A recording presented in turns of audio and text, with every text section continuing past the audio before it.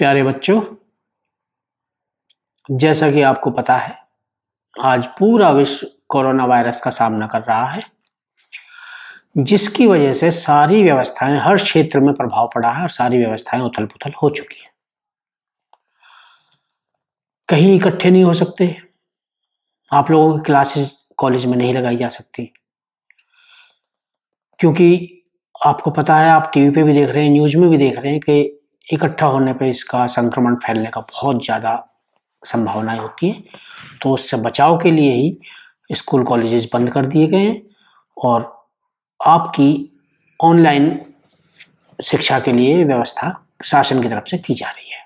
उसी कड़ी में आपके लिए ये वीडियो भेजी जा रही है, जिनसे कि आपकी पढ़ाई का नुकसान ना हो। आप इन वीडियोज़ को ध्यान से देखें और अपना काम करते रहें, इन्हें ध्यान से देखते रहें, पढ़ते रहें, अपनी कॉपियों में भी ये काम करते रहें, जिससे कि आपका कोई नुकसान ना हो। तो सबसे पहले अब हम आपको जो है ये पाठ शुरू करते हैं। हमारा पहला पाठ है, the enchanted pool. Enchanted pool का मतलब होता है, कोई वशीकृत तालाब। एक ऐसा तालाब जिसे किसी ने अपने कब्जे में ले लिया हो, अपने द्वारा उसे मंत्रों से मंत्रमुग्ध कर दिया गया हो और उसकी आज्ञा के बगैर आप उस तालाब का पानी इस्तेमाल नहीं कर सकते। इस पाठ के लेखक हैं, जो राजा जी नाम के नाम से प्रसिद्ध थे, हमारे देश के बहुत अच्छे लॉयर रहे हैं, बहुत अच्छे राजनीतिज्ञ रहे हैं श्री राजगोपालाचारी जिनका उपनाम था राजा जी उनका जन्म 1878 में हुआ था और उनकी मृत्यु सन उन्नीस सौ बहत्तर ईस्वी में हुई थी। राजा जी भारत के वो पहले नागरिक हैं जिन्हें भारत रत्न से सम्मानित किया गया था। भारत रत्न हमारा सर्वोच्च नागरिक सम्मान है, जो किसी भी उस क्षेत्र में दिया जाता है, जिस क्षेत्र में कोई भी व्यक्ति बहुत बड़ा काम करता है। तो राजा जी हमारे भारत के पहले भारत रत्न सम्मानित व्यक्ति है। इस पाठ में जो आपका है, महाभारत के एक विशेष प्रसंग का वर्णन किया गया है। जब पांडव वनवास की स्थिति, उसमें होते हैं अवस्था में तो वो कहीं जंगल में घूमते हुए प्यास से व्याकुल हो जाते हैं। और प्यास से व्याकुल होने के बाद पानी की तलाश में निकलते हैं। और पानी की तलाश में निकलने के बाद युधिष्ठिर जो उनका व्यक्ति वहाँ कहीं बैठे हुए प्रतीक्षा कर रहे हैं, वो परेशान हो जाते हैं उनके बहुत देर तक ना आने से। और आखिर में ये होता है, जब युधिष्ठिर परेशान हो जाते हैं, प्रतीक्षा बहुत ज़्यादा हो जाती है तो युधिष्ठिर भी उनकी प्रतीक्षा छोड़ के तालाब की खोज में और अपने भाइयों की खोज में निकल पड़ते हैं। युधिष्ठिर जब निकलते हैं तो आगे उन्हें चलते फिरते उन्हें पता चलता है, आगे जाके कि उनके, उन्हें बहुत अच्छा तालाब मिलता है, जो चारों तरफ़ हरे भरे मैदान से, घास के भरे मैदान से घिरा हुआ है। बहुत स्वच्छ उसमें पानी है। उसे देख कर जब युधिष्ठिर उसके पास पहुँचते हैं उन्हें पता चलता है कि उनके चारों भाई वहाँ मूर्छित पड़े हुए हैं। उन्हें देख के युधिष्ठिर बहुत परेशान हो जाते हैं, चिंतित हो जाते हैं और साथ ही साथ उन्हें आश्चर्य भी होता है कि उनके इतने मज़बूत भाइयों को आखिर इस अवस्था में किसने पहुँचा दिया। वो उन्हें देखते हैं, उन्हें छूते, विलाप करते हैं और प्यास से परेशान होकर अंततः वो सोचते हैं कि चलो कम से कम पहले प्यास बुझा ली जाए, फिर देखते हैं क्या होता है। किंतु जैसे ही वो पानी की तरफ़ बढ़ते पानी पीने की कोशिश करते हैं, तभी उन्हें एक आवाज़ आती है कि इस तालाब का पानी मत पीना, ये तालाब मेरा है। उस आवाज़ का कोई शरीर नहीं होता है, यानी शरीर रहित आवाज़ होती है। युधिष्ठिर देखते हैं और सोचते हैं कि ये आवाज़ बिना शरीर की यक्ष की ही हो सकती है। और वो समझ जाते हैं कि उनके भाइयों के साथ क्या हुआ होगा। अर्थात उनके भाइयों ने बिना इस पर ध्यान दिए पानी पिया होगा और वो यक्ष के श्राप से मूर्छित हो गए होंगे। अब युधिष्ठर एक पल में ये सोच लेते हैं कि मुझे अपने भाइयों को किस तरह बचाना है और वो उस आवाज़ की तरफ़ कहते हैं कि आप अपने प्रश्न पूछिए। वो आवाज़, वो जो शरीर रहित आवाज़ है, वो अपने प्रश्न पूछती है, जो यक्ष होते हैं, वो प्रश्न पूछते जाते हैं, युधिष्ठिर उनका उत्तर देते जाते हैं। अंततः होता ही है कि युधिष्ठिर उनके सभी प्रश्नों का उत्तर सही सही देते रहते हैं। उन प्रश्नों के उत्तर से यक्ष बहुत प्रसन्न होते हैं आखिर में यक्ष कहते हैं कि आप अगर चाहें तो आपके इन चारों भाइयों में से एक भाई को जीवित किया जा सकता है। युधिष्ठिर एक पल के लिए सोचते हैं और कहते हैं, युधिष्ठिर यक्ष के पूछने पे कि आप मेरे नकुल भाई को पुनर्जीवित कर दें। इस प्रश्न पे यक्ष उनसे फिर पूछते हैं कि आपने अर्जुन और भीम जो इतने शक्तिशाली हैं, जो इतने वीर हैं, जो आपकी सुरक्षा भी करते हैं, उनके मुकाबले आपने नकुल को क्यों चुना है? तो युधिष्ठिर सोच, उनसे जवाब देते हैं यक्ष को कि मेरी दो माए हैं, कुंती और माद्री। कुंती का मैं एक पुत्र जीवित हूँ, इसलिए वो पूरी तरह दुखी नहीं है। और माद्री का एक नकुल पुत्र जीवित रहेगा तो वो भी पूरी तरह दुखी नहीं होंगे। और न्याय के हिसाब से दोनों माताओं का एक एक पुत्र जीवित होना ही चाहिए। इस उत्तर से यक्ष बहुत प्रसन्न होते हैं। उसके बाद वो उनके चारों भाइयों को पुनर्जीवित कर देते हैं। और इस तरह फिर बाद में पता चलता है कि वो यक्ष का रूप लिए हुए यमराज थे। जो युधिष्ठिर की परीक्षा लेने वहाँ पर आए हुए थे। और इस तरह युधिष्ठिर अपने चारों भाइयों को जीवित करके वापस आ जाते हैं। ये इस पाठ की एक सारांश था हिंदी में, जो मैंने आपको इसलिए बताया जिससे कि आप इस पाठ को समझ सके। अब मैं अगला, इसकी जो हम पैराग्राफ पढ़ेंगे, मैं पहला पैराग्राफ शुरू करता जिन बच्चों के पास किताबें हैं, वो अपनी किताबें खोल लें, हमारे साथ चलते रहें, पढ़ते रहें। और जिनके पास किताबें नहीं हैं, वो इस वीडियो में दी हुई किताबों के जो हैं, उसे देख लेंगे, उसमें से नोट करते चलेंगे, उसमें से पढ़ते चलेंगे। Yudhishthira waited for his brothers in anxiety and thirst Yudhishthira ने चिंता करते हुए और प्यास मरते हुए अपने भाइयों का इंतज़ार किया, उनकी प्रतीक्षा की। क्योंकि वो पानी की तलाश में गए हुए हैं। Can they have been subjected to a curse और are they still wandering about the in the forest in search of water वो सोच रहे क्या वो किसी श्राप का शिकार हो गए हैं? या अब भी जंगल में पानी की तलाश में घूम रहे हैं? कर्स माने होता है श्राप। और बेटा फेंटेड माने होता है बेहोश हो जाना। इन मीनिंग्स को आप साथ के साथ नोट करते चलेंगे, जिससे कि आपको बाद में पढ़ने में सुविधा रहेगी। तो युधिष्ठिर ये सोचते हैं कि मेरे भाई या तो किसी शराब का शिकार हो गए, या वो अभी भी पानी की तलाश में जंगल में घूम रहे हैं। Unable to bear these thoughts और इन विचारों के असहनीय होने के बाद युधिष्ठिर इन विचारों को सोचते सोचते विचार इतने ज़्यादा हो गए कि वो उन्हें सहन नहीं कर पाए। और ज़्यादा विचार करना उन्होंने सोच लिया, बंद कर दिया and driven by an overpowering thirst और उन्हें प्यास भी बहुत ज़्यादा लगने लगी थी। He gave up waiting and started out to look for his brothers and the pool hoping that he might find them प्यास से प्रतीक्षा से बहुत परेशान होते हुए आखिर में युधिष्ठर ने यह निर्णय लिया कि वो वहाँ से अपने भाइयों की और पानी की तलाश में निकल पड़े। और ये उम्मीद उन्हें थी कि वो अपने भाइयों को और पानी को ढूंढ ही लेंगे। Yudhishthira proceeded in the direction of his brothers and taken and kept on walking through tracts full of white bear and spotted deer and big forest birds till he came upon a beautiful green meadow around a pool of clear water Yudhishthira वहाँ से अपने उसी दिशा में चल पड़े, जिस दिशा में उनके भाई गए थे।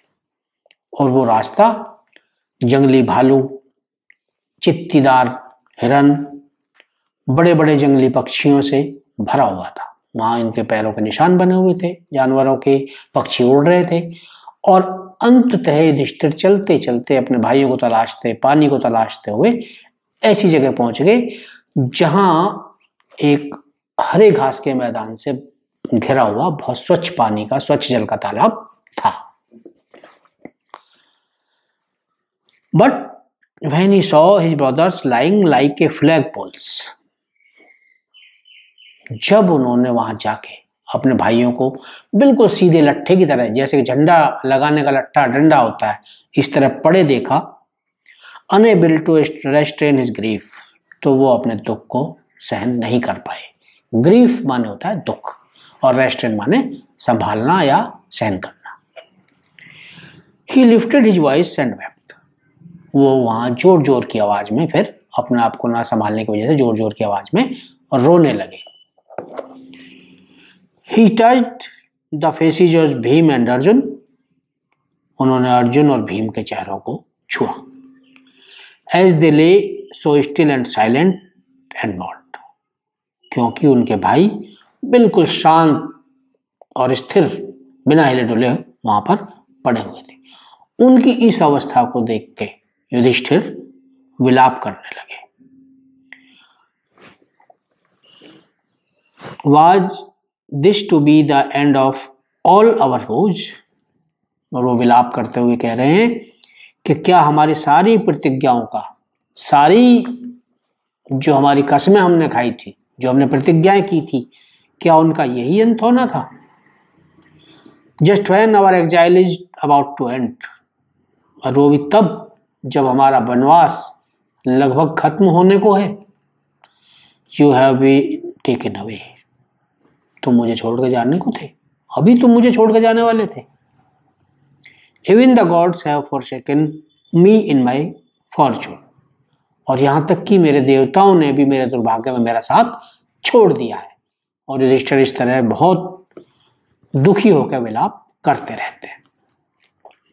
As he looked at their mighty limbs now so helpless they sadly wondered who could have been powerful enough to kill them और जब उन्होंने उनकी मज़बूत भुजाएँ देखी, मज़बूत टखने देखे, इतने अपने बलवान भाइयों को देखा, जो इस तरह ऐसा है अवस्था में पड़े हुए थे तो वो बड़े आश्चर्यचकित हुए कि इतना शक्तिशाली कौन हो सकता है कि जो मेरे इतने बलवान भाइयों को मार दे। क्योंकि कहा जाता है, भीम में तो सोलह हज़ार हाथियों का बल था अर्जुन के गांडियों का कोई सामना नहीं कर सकता था पूरे विश्व में।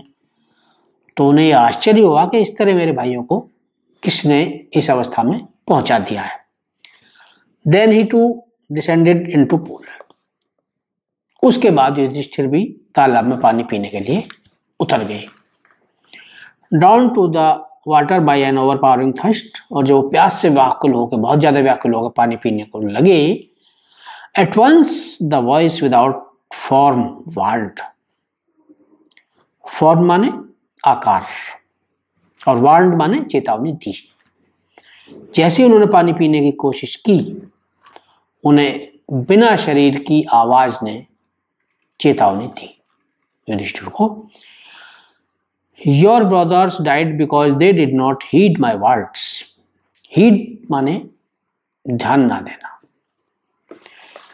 उन्होंने कहा, उस आवाज़ ने कहा कि तुम्हारे भाई इसलिए मर गए हैं क्योंकि उन्होंने मेरे शब्दों पर ध्यान नहीं दिया था। They tried to drink water without answering my question तुम्हारे भाइयों ने कोशिश की थी बगैर मेरे प्रश्नों का उत्तर दिए पानी पीने की। डो नॉट फॉलो दैम तुम उनका अनुसरण मत करो, उनकी तरह मत करना। Answer my question first and then you can quench your thirst quench thirst means प्यास बुझाना। यश कहते हैं, युधिष्ठिर से कि तुम अपने भाइयों की तरह मत करना, तुम पहले मेरे सवालों का उत्तर दो और उसके बाद आप अपनी प्यास बुझा सकते हो। This pool belongs to me ये तालाब मेरा है। अब हमारा तीसरा पैरा शुरू होता है। It did not take Yudhishthir a moment to understand that these could be none other than the words of Yaksh. इस शरीर रहित आवाज़ को सुनने के बाद, युधिष्ठिर ने यह अंदाज़ा लगा लिया, उन्हें यह पता चल गया कि ये आवाज़ यक्ष के अलावा और किसी की नहीं हो सकती। And guessed what had happened to his brothers और इस सारे घटनाक्रम से युधिष्ठिरों ने, युधिष्ठिर ने यह अनुमान भी लगा लिया कि उनके भाई के साथ क्या हुआ होगा। उनके भाइयों ने यक्ष की बातों पर ध्यान नहीं दिया होगा, उसके प्रश्नों को अनसुना कर दिया होगा और पानी पीने की चेष्टा करने के कारण ही उनकी ये अवस्था हुई होगी। It took him no time to see a possible way of bringing them back to life और ये पता लगने के बाद कि ये तालाब यक्ष का है। युधिष्ठिर ने अपने भाइयों को पुनर्जीवित करने की संभावना का भी अंदाज़ा लगा लिया। जब उन्हें लगा कि ये यक्ष का तालाब है, यक्ष की, के प्रश्नों का उत्तर देकर उन्हें लगा कि मैं अपने भाइयों को पुनर्जीवित कर सकता हूँ। He said to the bodiless voice please ask your question उन्होंने उस शरीर रहित आवाज़ से कहा कि कृपया अपने प्रश्न पूछें। The voice put question rapidly one after another rapidly माने जल्दी जल्दी। उस आवाज़ ने जल्दी जल्दी शीघ्रता पूर्वक एक के बाद अपने सवाल, एक के बाद एक करके पूछने आरंभ कर दिए। What rescues man in danger यह पहला प्रश्न था यक्ष की, का युधिष्ठिर से। What rescues man in danger खतरे के समय मनुष्य की रक्षा कौन करता है? करेज साहस, ये युधिष्ठिर ने उत्तर दिया कि यदि हम खतरे के समय अपने साहस से काम लेंगे, हिम्मत नहीं खोएँगे तो हम बड़े बड़े खतरों का सामना कर सकते हैं। By the study of which science does man become wise Yaksha ने प्रश्न पूछा कि हम किस विज्ञान को पढ़ के बुद्धिमान हो सकते हैं? ऐसी कौन सी विज्ञान है? ऐसा कौन सी विद्या है जिसे पढ़ने के बाद मनुष्य बुद्धिमान हो सकता है। Not by studying any shastra does man become wise Yudhishthir उत्तर देते हैं कि किसी शास्त्र के या किसी विद्या के पढ़ने से व्यक्ति बुद्धिमान नहीं होता। It is by association with the great in wisdom that he gets wisdom विद्या पढ़ने से या शास्त्र पढ़ने की अपेक्षा हम बुद्धिमान व्यक्तियों के संगत में रहकर ही विद्वान बन सकते हैं, बुद्धिमान बन सकते हैं। ऐसे लोग जो हमसे ज़्यादा बुद्धिमान हैं, उनकी संगत ही हमें बुद्धिमान बना सकती है। ना कि कोई शास्त्र या कोई विद्या। दयक्ष asked what is swifter than the wind फिर यक्ष पूछते हैं कि हवा से भी तीव्र क्या है? माइंड मस्तिष्क युधिष्ठिर उत्तर देते हैं कि मनुष्य का जो मस्तिष्क है, वो हवा से भी तीव्र है। जैसे कि हवा बहुत तेज चलती है, बहुत जल्दी कहीं से कहीं पहुँच जाती है, लेकिन मनुष्य का मस्तिष्क जो है, वो पल भर में कहीं भी पहुँच सकता है। आप लोग सोच सकते हैं, अभी आप अपने कॉलेज में हैं, अपने क्लासरूम में हैं, आप यहाँ पढ़ रहे हैं, एक पल बाद आप पता नहीं चाँद तारों की दुनिया में कहाँ पहुँच सकते हैं, कुछ भी सोच सकते हैं। तो इसलिए युधिष्ठिर कहते हैं कि मस्तिष्क की जो गति है, जो तीव्रता है, वो वायु से भी तेज होती है। What is more faded than a dried straw एक सूखे तिनके से भी ज़्यादा हल्का क्या है? मुरझाया हुआ फेडेड माने मुरझाया हुआ। ए सोरो स्ट्राइकन हार्ट युधिष्ठिर उत्तर देते हैं कि दुख से टूटा हुआ हृदय, जो एक पीड़ित व्यक्ति होता है, वो एक सूखे तिनके से भी ज़्यादा मुरझाया हुआ होता है। ऐसे व्यक्ति को आप कुछ भी कह देते हैं तो वो बहुत ज़्यादा परेशान, बहुत ज़्यादा दुखी हो जाता है। कोई भी चीज़ वो सहन थोड़ा सा हँसी मज़ाक भी सहन नहीं कर सकता।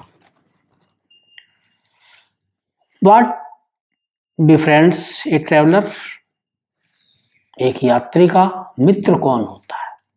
जब आप कहीं यात्रा में जा रहे हैं तो आपका मित्र वहाँ पे क्या होता है? युधिष्ठिर उत्तर देते हैं, लर्निंग, ज्ञान, वहाँ आपका ज्ञान ही आपका साथ निभाता है, वो हर जगह आपका काम पूरा करता है, आपके काम आता है. Who is the friend of one who stays at home Yaksha पूछते हैं कि जो व्यक्ति घर पे रुका हुआ है, अपने घर में है, उसका मित्र कौन है? द वाइफ युधिष्ठिर उत्तर देते हैं, पत्नी। अर्थात जो व्यक्ति अपने घर पे है, उसका जो मित्र होती है, उसका सबसे अच्छा सहयोगी, साथी जो होती है, वो पत्नी होती है। Who accompanies a man in death फिर यक्ष का प्रश्न आता है कि मृत्यु के बाद व्यक्ति के साथ कौन रहता है? Dharma that alone accompanies a soul in its solitary journey after death Yudhishthir उत्तर देते हैं कि धर्म केवल धर्म ही एक आत्मा का साथ देता है, जब वो अपनी एकांत यात्रा पर जाती है। एकांत का मीन्स मृत्यु के बाद, जब आत्मा के साथ शरीर नहीं जाता, वो स्वर्ग की तरफ़ जाती है तो केवल धर्म ही ऐसा है जो उसका साथ देता है, उसके साथ वहाँ तक पहुँचता है। Which is the biggest vessel Yaksha का प्रश्न आता है, सबसे बड़ा पात्र क्या है? वैसल माने पात्र। युधिष्ठिर उत्तर देते हैं the earth which contains all within itself is the greatest vessel भूमि, जो अपने अंदर सब कुछ समाये हुए है, सब कुछ इसके अंदर समाया हुआ है, इसीलिए यह ही सबसे बड़ा पात्र है। वट इज़ हैप्पीनेस यक्ष पूछते हैं, प्रसन्नता क्या है? Happiness is the result of good conduct Yudhishthir उत्तर देते हैं कि खुशी जो है वो हमारे अच्छे आचरण का परिणाम है। जैसे आप देख सकते हैं कि अगर हम अच्छे काम करेंगे तो हमें उसका अच्छे रिज़ल्ट मिलेंगे, अच्छे परिणाम मिलेंगे तो हम ज़्यादा खुशियाँ प्राप्त करेंगे।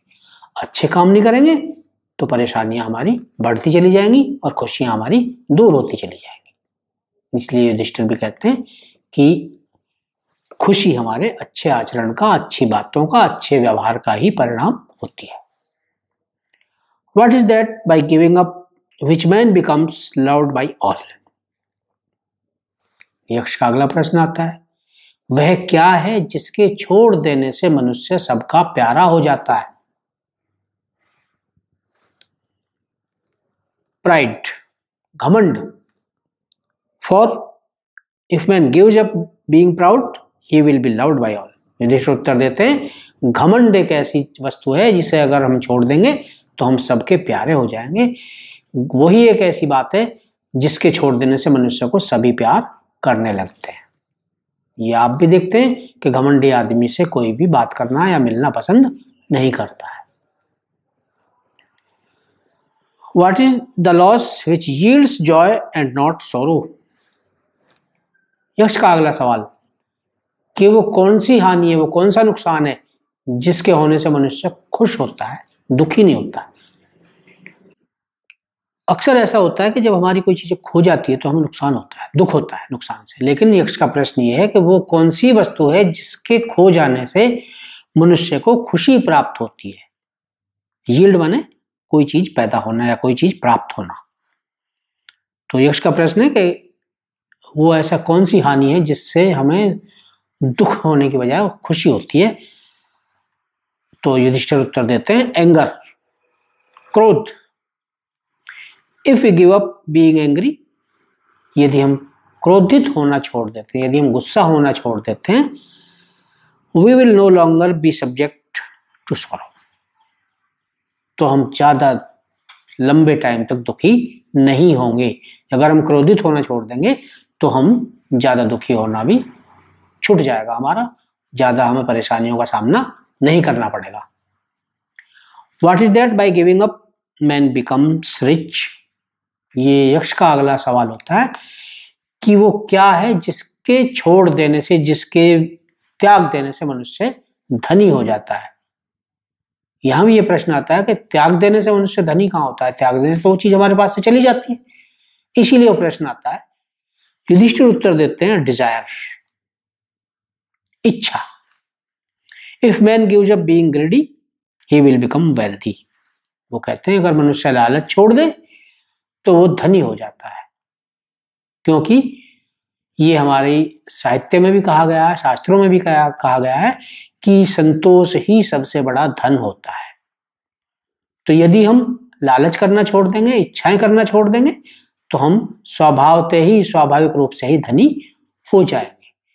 क्योंकि ये आप लोग भी देखते हैं कि हमारी इच्छाएँ जैसे जैसे हमारी इच्छाएँ पूर्ति होती चली जाती है हमारी इच्छाओं का दायरा बढ़ता चला जाता है।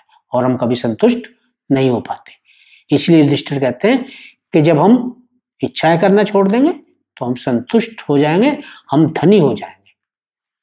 वो संतोष ही धनी होने का प्रमाण होता है। What makes one a real Brahmin यश का सवाल आता है कि वास्तव में ब्राह्मण कैसे बनते हैं? It is birth good conduct और लर्निंग आंसर डिसिसिवली ये जन्म होता है, यानी कोई ब्राह्मण जन्म से बनता है, अच्छे आचरण से बनता है या ज्ञान से बनता है? बड़ा सोच समझ कर उत्तर देना है। युधिष्ठिर कहते हैं, उत्तर देते हैं birth and learning do not make one a Brahmin. Yudhishthir ये बताते हैं, यक्ष को उत्तर देते हैं कि जन्म से या ज्ञान प्राप्ति से कोई ब्राह्मण नहीं बनता। अगर उसका आचरण अच्छा नहीं है तो ब्राह्मण नहीं बन सकता। गुड कंडक्ट एलोन टच केवल हमारा अच्छा आचरण ही हमें ब्राह्मण बनाता है। चाहे हम कितने ही विद्वान हो जाए, कितना ही ज्ञान प्राप्त कर ले, अगर हमारी आदतें अच्छी नहीं है, हम दयालु नहीं है, हम अच्छे व्यवहार नहीं करते लोगों के साथ तो हम ब्राह्मण नहीं हो सकते। जब तक कि हम दूसरों की भलाई की भावना ना हो। How learned a person may be he will not be a Brahmin without giving up bad habits Yudhishthir कहते हैं कि चाहे मनुष्य कितना ही ज्ञानवान हो, कितना ही विद्वान हो, अगर उसमें बुरी आदतें हैं तो वो ब्राह्मण नहीं हो सकता जब तक कि वो अपनी उन बुरी आदतों को ना त्याग दे। अर्थात ज्ञान या जन्म से कोई ब्राह्मण नहीं होता है, अच्छे आचरण से, अच्छे व्यवहार से ही कोई मनुष्य ब्राह्मणत्व को प्राप्त होता है, तभी वो ब्राह्मण बन सकता है। Even though may be learned in four Vedas. चाहे वो चारों वेदों का ज्ञाता क्यों ना हो, a man of bad conduct falls to a lower class. चारों वेदों का ज्ञाता होते हुए भी अगर मनुष्य की आदतें अच्छी नहीं है तो वो निम्न श्रेणी का ही व्यक्ति होता है, वो शूद्र श्रेणी का ही व्यक्ति होता है। What is the greater greatest wonder in the world अब यक्ष पूछते हैं कि सबसे बड़ा आश्चर्य क्या है? Everyday man see creatures depart to Yama's kingdom Yudhishthir उत्तर देते हैं कि मनुष्य रोज़ाना प्राणियों को यमलोक जाते हुए देखता है। डिपार्ट कहते हैं प्रस्थान करना। और क्रिएचर्स माने प्राणी, जीवित प्राणी। तो कहते हैं कि मनुष्य रोज कितने ही जीवित प्राणियों को मरते हुए देखता है, यानी यमलोक की तरफ़ प्रस्थान करते हुए देखता है। And yet those who remain want to live forever और फिर भी मनुष्य सोचता है कि मैं तो हमेशा ऐसे ही अमर रहूँगा। This truly is the greatest wonder यही वास्तव में सबसे बड़ा आश्चर्य है कि हम ये भूल जाते हैं कि जिसने जन्म लिया है, एक दिन उसकी भी मृत्यु अवश्य होनी है। Thus, the Yaksha put many question and Yudhishthir answered them all इस तरह यक्ष ने सवाल पूछे और युधिष्ठर ने सबका उत्तर दिया। In the end the Yaksha asked O king one of your dead brothers can now be revived who do you want to come back to life और आखिर में यक्ष ने पूछा कि वो राजा? तुम्हारे इन मरे हुए भाइयों में से मैं किसी एक को पुनर्जीवित कर सकता हूँ। वो कौन सा भाई है जिसे आप पुनर्जीवित करना चाहेंगे वो मुझे बताएँ। It to Yudhishthir a moment to think. Yudhishthir को सोचने में केवल एक पल लगा एक क्षण का टाइम लगा। एंड राष्ट्र Then he wished that the cloud a complexioned, lotus-eyed, broad-chested, and long-armed Nakula, lying like a fallen ebony trees. Yudhishthir ने एक पल सोचने के बाद कहा कि मैं चाहूँगा घटा जैसे चेहरे वाला कमल जैसी आँखों वाला चौड़ी छाती लंबी भुजाओं वाला नकुल जो एक आबनूस के पेड़ की तरह पड़ा हुआ है जीवित होना चाहिए दयक्ष was please at this eight he ask Yudhishthir Yudhishthir के इस उत्तर से यक्ष बहुत प्रश्न हुआ और यक्ष ने युधिष्ठर से फिर पूछा why did you choose Nakul in preference of Bhim and who has the strength of sixteen thousand elephants Yaksha ने पूछा कि आपने भीम के मुकाबले नकुल का चयन क्यों किया? नकुल को क्यों चुना? क्योंकि भीम में तो सोलह हज़ार हाथियों का बल है। I have hear that Bhim is most dear to you और मैंने ये भी सुना कि भीम आपको बहुत प्यारा है। उसे आप बहुत ज़्यादा प्यार करते हैं। And why do not Arjuna whose strength in arms is your protection और आपने अर्जुन को क्यों नहीं चुना? जिसकी भुजाओं की शक्ति से आपकी सुरक्षा होती है। Tell me why you choose Nakula rather than either of this two आप मुझे बताएँ कि इन दोनों के मुकाबले में इन दोनों की अपेक्षा आपने नकुल को क्यों चुना? युधिष्ठिर रिप्लाइड युधिष्ठिर ने उत्तर दिया O Yaksha, dharma is the only shield of man not Bhima और अर्जुना कहे यक्ष, मनुष्य की जो सुरक्षा करते हैं, वो धर्म करता है, ना कि अर्जुन और Bhim. If dharma is given up man will be ruined अगर धर्म को छोड़ दिया जाता है तो मनुष्य विनष्ट हो जाता है, उस विनाश को प्राप्त हो जाता है। Kunti and Madri were two wives of my father Kunti और माद्री, मेरे पिता की दो पत्नियाँ थी। I am alive a son of Kunti. Kunti का मैं एक पुत्र, जीवित हूँ। And so she is not completely bereaved इसलिए वो पूरी तरह दुखी नहीं है। ब्रेवेड मीन्स शोक संतप्त होना, दुखी होना। In order that the scales of justice may be even और न्याय का पलरा एक समान रहे। न्याय में कहीं कोई कमी ना हो। इसलिए I ask that Madri son Nakul may revive इसलिए मैंने न्याय को ध्यान में रखते हुए ये इच्छा व्यक्त की है कि मेरे भाई नकुल को पुनः जीवित कर दिया जाए। अच्छा बच्चों, आज के लिए इतना ही। शेष जो आपका चैप्टर रहेगा, वो अगली क्लास में लेंगे। और अब आपसे सिर्फ़ मुझे ये कहना है कि आप इसके जो हार्ड मीनिंग्स मैंने लिखवाए हैं, उन्हें और अपनी कॉपी में लिख लें, इसे दोबारा रिवाइज कर लें और फिर अगली क्लास में मिलते हैं। नमस्कार। प्यारे बच्चों, पिछली क्लास में जब हमने चैप्टर बंद किया था, उस समय यक्ष ने नकुल युधिष्ठिर से आखिरी प्रश्न ये पूछा था कि उन्होंने अर्जुन और भीम के मुकाबले नकुल को क्यों चुना? जबकि नकुल इतना शक्तिशाली भी नहीं है। तो युधिष्ठिर ने यक्ष को ये प्रश्न का उत्तर ये दिया था कि मेरी कुंती और माद्री दो माताएँ हैं और न्याय की भावना के अनुसार दोनों का एक एक पुत्र जीवित रहना चाहिए। इसलिए मैंने नकुल को चुना। अब हम आगे बढ़ते हैं। आप लोग जिनके पास किताबें हैं, वो किताबें खोल लें और जिनके पास नहीं है, वो दी गई वीडियो के अंत में जो हम देंगे उसमें उस चैप्टर को रिवाइज कर लेंगे और देख लेंगे। The Yaksha was most please with Yudhishthira's impartiality and granted that all his brothers would come back to life Yaksha Yudhishthir की इस निष्पक्षता से बहुत प्रसन्न हुए और उन्होंने युधिष्ठिर के सारे भाइयों को पुनर्जीवित करने की इच्छा व्यक्त की और उन्होंने एक पुरस्कार के रूप में उनके सारे भाइयों को पुनर्जीवित कर दिया। It was Yama the lord of death ये जो यक्ष थे, ये वास्तव में यमराज थे, जो मृत्यु के देवता हैं। Who had taken the form of the Yaksha so that he might see Yudhishthir and test him Yamraj ने इसलिए यक्ष का रूप लिया था जिससे कि वो युधिष्ठर को देख सकें, परख सकें और उनकी परीक्षा ले सकें। He embraced Yudhishthira and blessed him embraced कहते हैं आलिंगन में लेना, गले से लगाना और ब्लेस्ड माने आशीर्वाद दिया।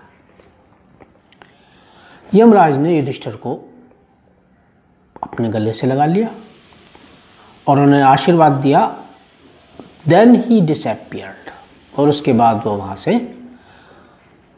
गायब हो गए। निराकार हो गए। ये आपका चैप्टर था द एंचेंटेड पूल इसकी हिंदी आपको समझ आ गई होगी, नहीं आई होगी तो आप दोनों वीडियो, जो पहला वीडियो था वो, और ये जोड़ के आप इसे देख सकते हैं और अपनी नोटबुक्स में नोट कर सकते अब हम इसके क्वेश्चन और आंसर लेंगे।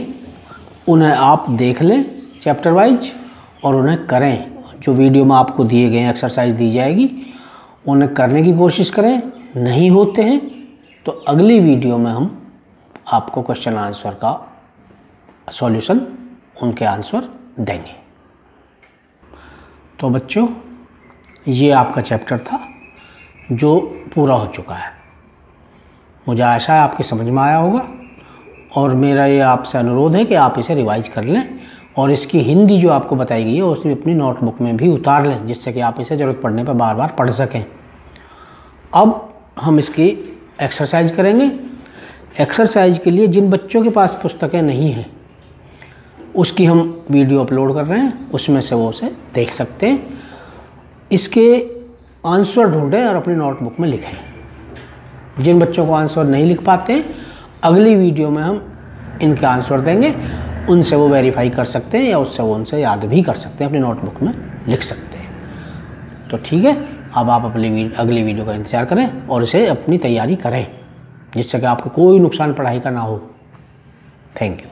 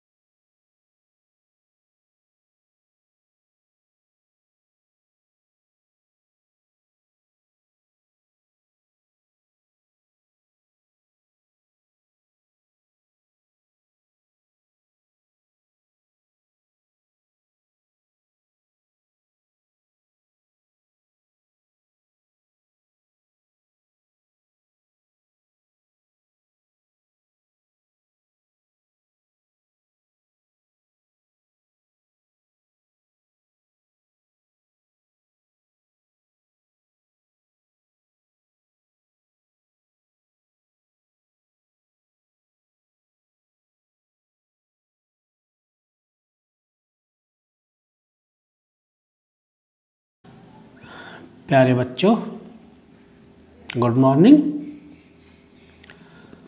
पिछली क्लास में हमारा चैप्टर पूरा हो चुका है। आज हम अपनी एक्सरसाइज स्टार्ट करेंगे। आप अपने कॉपी और पेन ले लें और जो मैं क्वेश्चन और आंसर बोलता हूँ, उन्हें अपनी नोटबुक में नोट करते चले जाएँ। हमारे चैप्टर का पहला पैसेज है Yudhishthir waited for dot dot last words हैं हिज वॉइस एंड वेप्ट इस पैसेज में से क्वेश्चन होंगे और इन्हीं के हम आपको आंसर लिखवाएँगे। पहला क्वेश्चन है what had the brothers of Yudhishthir gone in search of Yudhishthir के भाई किस चीज़ की, किस वस्तु की तलाश में गए थे? तो इसका उत्तर है Yudhishthir's, brothers had gone in search of water Yudhishthir's, brothers had gone in search of water आराम से लिख लें। दूसरा क्वेश्चन है what did Yudhishthir fear had happened to his brothers Yudhishthir को इस बात, किस बात का भय था कि मेरे भाइयों के साथ किस बात से वो डरे हुए थे? तो इसका आंसर है, Yudhishthir fear that his brothers might have fallen in trouble Yudhishthir को इस बात का डर था कि मेरे भाइयों के सामने कोई समस्या तो नहीं आ गई है। वो किसी मुसीबत में तो नहीं फंस गए। क्वेश्चन नंबर तीन। What did Yudhishthir do Yudhishthir ने क्या किया? तीसरे का उत्तर है, Yudhishthir gave up waiting and started out to look for his brothers and pool Yudhishthir ने प्रतीक्षा करनी, बंद कर दी, छोड़ दी और वो अपने भाइयों और तालाब की खोज में चल पड़े। चौथा प्रश्न what did Yudhishthir do when he saw his brothers lying dead जब युधिष्ठिर ने अपने भाइयों को वहाँ मृत पड़े हुए देखा लेटे हुए देखा तो उन्होंने क्या किया? When he saw his brothers lying dead, he could not restrain his grief and started to weep loudly. एक बार फिर सुन लें when he saw his brothers lying dead he could not restrain his grief and started to weep loudly जब युधिष्ठिर ने अपने भाइयों को ऐसी हालत में वहाँ पड़े हुए देखा तो वो उस दुख को सहन नहीं कर सके और उन्होंने ज़ोर से रोना शुरू कर दिया। हमारा दूसरा पैसेज है, उसके पहले शब्द हैं he touched the faces dot dot last word pool belongs to me इस पैसेज का पहला क्वेश्चन है in what condition did Yudhishthir find his brothers Yudhishthir को अपने भाई किस अवस्था में मिले? इसका आंसर है Yudhishthir found his brothers lying there like flag poles दोबारा सुन लें। Yudhishthir found his brothers there like flag poles Yudhishthir ने अपने भाइयों को वहाँ झंडों के, टांगने वाले डंडों के समान पड़े हुए देखा। अगला question what did Yudhishthir mode Yudhishthir ने क्या विलाप किया? युधिष्ठिर ने जब अपने भाइयों को इस तरह पड़े देखा तो इसका अगला आंसर है Yudhishthir mourned that was this to be the end of our woes just when our exile is about to end. You have been taken away.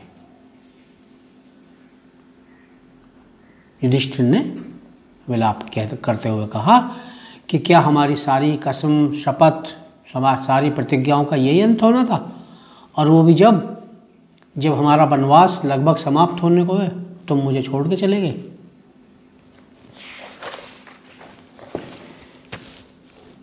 तीसरा question what did register wonder to see the mighty limbs of his brothers Yudhishthir wonder to see the mighty limbs of his brothers that who could have been powerful kill them.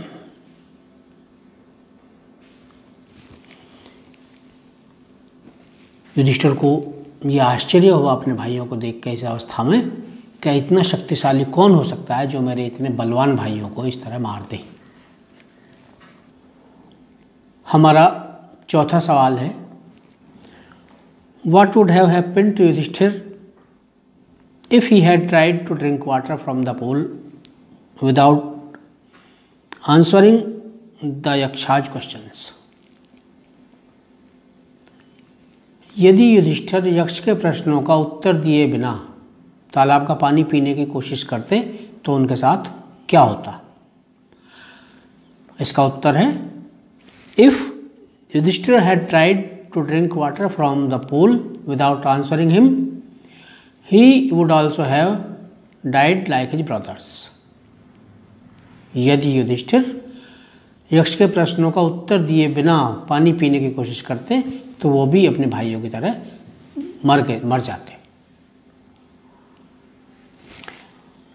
इसका पांचवा question है what did pool belong to तालाब किसका था?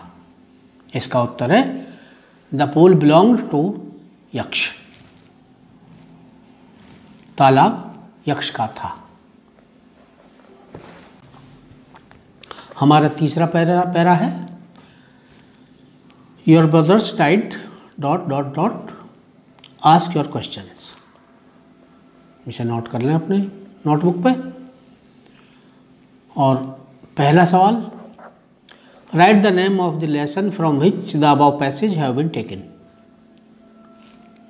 who is the author of the lesson जिस पाठ में से ये उपरोक्त पैरा लिया गया है। उस पाठ का नाम और उसके लेखक का नाम लिखिए। तो उत्तर है the name of the lesson from which the above passage has been taken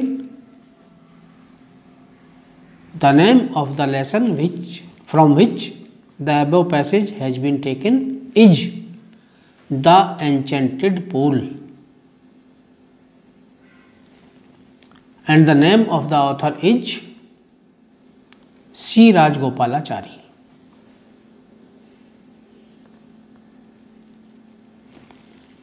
इसका दूसरा क्वेश्चन है पैरा का। Who was the owner of the pool why did the four brothers of Yudhishthira died तालाब किसका था? और युधिष्ठिर के चारों भाई क्यों मर गए थे?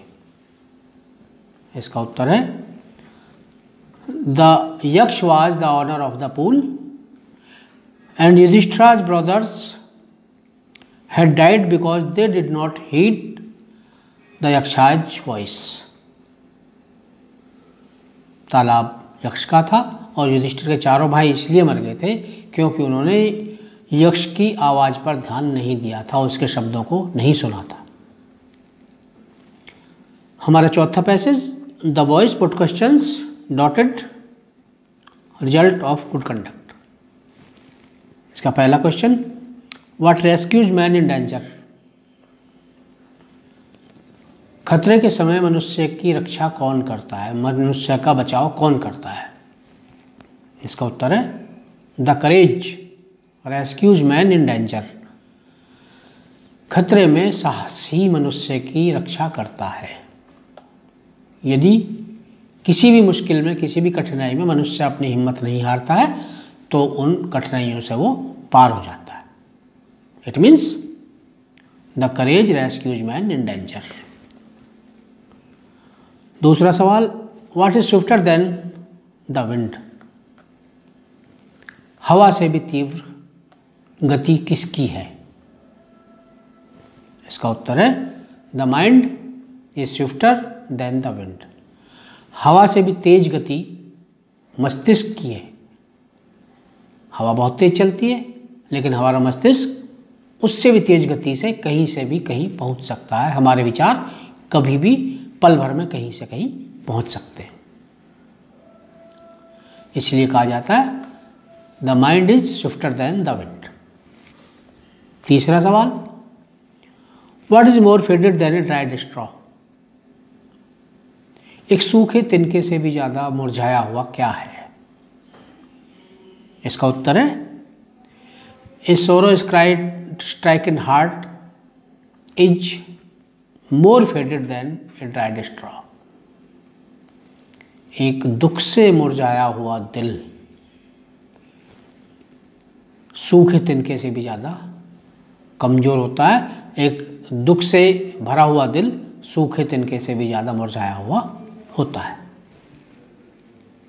चौथा who is the friend of one who stays at home जब कोई घर पे रहता है तो उसका मित्र सबसे अच्छा कौन होता है?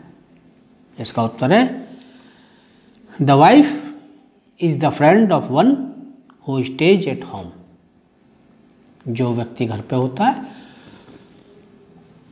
उसका सबसे अच्छा मित्र उसकी पत्नी होती है।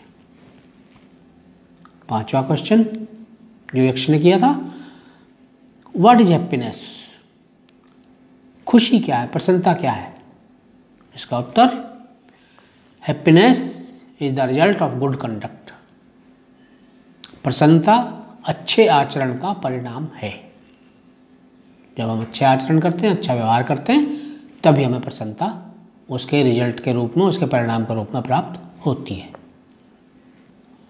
पांचवा what is that dots is the greatest wonder पहला क्वेश्चन है what is that by giving up a man becomes loved by all वो क्या है जिसके छोड़ देने से मनुष्य सबका प्रिय हो जाता है? तो इसका उत्तर है pride that is pride by giving up which a man becomes loved by all यदि हम घमंड छोड़ देते हैं तो हम सबके प्रिय हो जाते। हैं प्रश्न नंबर दो। What is the loss which yields joy not sorrow वो कौन सा नुकसान है? या क्या वस्तु है जिसके छोड़ देने से, जिसके खो जाने से हमारी हानि नहीं होती है? या वो कौन सी हानि है जिसके होने से हमें खुशी प्राप्त होती है? तो इसका उत्तर है एंगर। अगर हमारा गुस्सा खो जाता है, हम गुस्सा छोड़ देते हैं तो हमें खुशी प्राप्त होती है। Anger, is the loss which yields joy and not sorrow. दोबारा ध्यान कर लें, दोबारा सुन लें। Anger is the loss which yields joy not sorrow. क्रोध के खो जाने से हमें खुशी प्राप्त होती है, दुख नहीं। तीसरा सवाल, what makes one a real Brahmin? किसी व्यक्ति को वास्तविक ब्राह्मण कौन बनाता है? इसका उत्तर है a good conduct makes a man real Brahmin. एक अच्छा आचरण ही मनुष्य को सच्चा ब्राह्मण बनाता है। हमारा अगला पैरा है, para six. Thus the Yaksha put, dot dot dot, then either of the two these two पहला question how many question did Yaksha ask and how many of them did Yudhishthira answered Yaksha ने कितने question पूछे और युधिष्ठर ने कितने question का उत्तर दिया? इसका उत्तर है, Yaksha asked many questions and Yudhishthira answered all of them Yaksha ने बहुत सारे प्रश्न पूछे और युधिष्ठर ने उन सभी का उत्तर दिया दूसरा सवाल did Yudhishthira answer the questions of the Yaksha satisfactorily क्या युधिष्ठिर ने यक्ष के सभी प्रश्नों का संतोषजनक उत्तर दिया तो इसका उत्तर है yes Yudhishthira answered all of the questions of Yaksha satisfactorily Yaksha के सभी प्रश्नों का युधिष्ठिर ने संतोषजनक उत्तर दिया। तीसरा सवाल which brother did Yudhishthira choose to be alive describe his appearance Yudhishthira ने कौन से भाई को पुनर्जीवित कराने के लिए चुना और उसकी आकृति का वर्णन कीजिए। तो Yudhishthira choose Nakula to be alive he was cloud complexioned lotus eyed and broad chested in figure in is physique question number चार. What did Yaksha ask Yudhishthira about his choice Yaksha ने युधिष्ठिर के चुनाव के विषय में क्या पूछा? The Yaksha ask Yudhishthira comma inverted comma start why did you choose Nakula in preference to Bhima who had the strength of sixteen thousand elephants and he the most dear to you मतलब तुमने भीम के मुकाबले नकुल को क्यों चुना? जबकि उसमें सोलह हज़ार हाथियों का बल है और वो तुम्हें सबसे ज़्यादा प्रिय भी है। अगला question who had taken form of Yaksha and why Yaksha का रूप किसने लिया था और क्यों लिया था? इसका उत्तर है it was Yama the lord of death who has taken the form of Yaksh to see Yudhishthir and test him. पांचवा क्वेश्चन है who had the strength of sixteen thousand elephants सोलह हज़ार हाथियों की बल की शक्ति किसमें थी? इसका उत्तर है, Bhima had the strength of sixteen thousand elephants सोलह हज़ार हाथियों की शक्ति भीम में थी। हमारा अगला पैरा है, पैरा नंबर सात। O Yaksha, dot dot dot then he disappeared इसका पहला सवाल है what is the shield of man मनुष्य का सुरक्षा कवच क्या है? इसका उत्तर है, dharma is the shield of man धर्म ही मनुष्य का सुरक्षा कवच है। दूसरा प्रश्न according to Yudhishthira when can man be ruined Yudhishthira के अनुसार मनुष्य विनाश को कब प्राप्त होता है? इसका आंसर है according to Yudhishthira if dharma is given up man will be ruined यदि धर्म को छोड़ दिया जाए तो मनुष्य विनाश को प्राप्त हो जाता है। क्वेश्चन नंबर तीन why did Yudhishthira ask the Yaksha to bring Nakula back to life Yudhishthira ने यक्ष से नकुल को पुनर्जीवित करने के लिए क्यों कहा? इसका उत्तर है Yudhishthira wanted to follow the justice by reviving Nakula the son of Madri. Yudhishthira Nakula को पुनर्जीवित कराकर न्याय का अनुसरण करना चाहते थे। क्वेश्चन नंबर चार। What quality of Yudhishthira pleased the Yaksha most how did he rewarded him for that Yudhishthira के किस गुण ने यक्ष को बहुत ज़्यादा प्रभावित किया, सबसे ज़्यादा प्रभावित किया और उसके बदले में उसने युधिष्ठिर को क्या पुरस्कार दिया? इसका उत्तर है Yudhishthira's impartiality pleased the Yaksha most so Yaksha rewarded him by reviving his all dead brothers Yudhishthira की निष्पक्षता ने यक्ष को सबसे ज़्यादा प्रभावित किया और पुरस्कार स्वरूप उसने उसके सभी भाइयों को पुनर्जीवित कर दिया क्वेश्चन नंबर पाँच who had taken the form of Yaksha and why Yaksha का रूप किसने लिया था और क्यों इसका उत्तर it was Yama the lord of death who has taken the form of Yaksha to see Yudhishthira and test him Yaksha का रूप यम ने लिया था, जो मृत्यु के देवता होते हैं, क्योंकि वो युधिष्ठिर को देखना चाहते थे और उनकी परीक्षा भी लेना चाहते थे। Question number six which word in the passage have been synonyms of the following words जो नीचे शब्द दिए गए हैं, इन्हें समानार्थी शब्द इस पैरा, पैसेज में से ढूंढिए। पहला शब्द है प्रोटेक्शन। प्रोटेक्शन का समाना, सिनोनिम है शील्ड। दूसरा शब्द है डेस्ट्रॉइड डेस्ट्रॉयड का सिनोनिम है रोइंड। और ये हमारे कंप्रीहेंशन पूरा हो गया है। अब हम अगली क्लास में लॉन्ग आंसर्स करेंगे। तब तक के लिए धन्यवाद।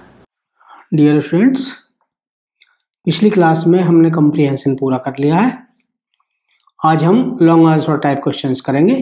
आप अपना पेन और नोटबुक्स निकाल लें और मैं आपको क्वेश्चन और आंसर बोलता हूँ। आपने नोट करते चले जाएँ, अपनी नोटबुक्स में लिख लें और याद कर लें। ठीक है? आप अपने अपने कॉपी पेन ले लें। Let us start our question and answers हमारा पहला क्वेश्चन है, हुआ Yaksha why did Yama take in the form of Yaksha what question did he asked Yudhishthira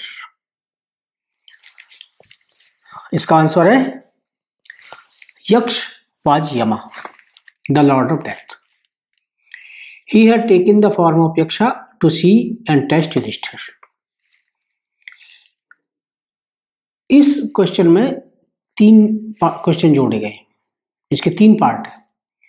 पहला पार्ट था हुआ यक्षा, जो हम आंसर दे चुके Yaksha was Yama the lord of death इसका दूसरा पार्ट है why had Yama take in the form of Yaksha? Yama ने यक्ष का रूप क्यों लिया? इसका उत्तर है, जो हम आपको लिखवा चुके he had taken the form of Yaksha to see and test Yudhishthira, कि वो युधिष्ठिर को देखना चाहता था और उनकी परीक्षा भी लेना चाहता था। और इसका चौथा पार्ट है, तीसरा पार्ट है what question did he ask Yudhishthira उसने युधिष्ठिर से कौन से प्रश्न पूछे? जो प्रश्न पूछे, उन्हें अब हम नीचे बोलते हैं। Some of them as he ask Yudhishthira many questions some of them are as following number A what rescues man in danger? B, by the study of which science does man become wise? C what is swifter than the wind d what is more faded than a dried straw e what befriends a traveler f who is the friend of one who take stays at home g who accompanies a man in death. H. Which is the biggest vessel? I. What is happiness? J. What makes a real Brahman? And many more other questions. Yaksha ask Yudhishthira ये आपके पहले सवाल का उत्तर था आशा है आपने note कर लिया होगा अब हम दूसरा क्वेश्चन लेते हैं दूसरा क्वेश्चन है what happened to all the brothers of Yudhishthira इसका आंसर है Yudhishthira and his brothers were living in exile one day they felt overpowering thirst therefore they started in search of water and ultimately they found a pool of clean water they tried to drink the water at once a bodiless voice warned them to answer his questions but they did not pay heed to his words and tried to drink water.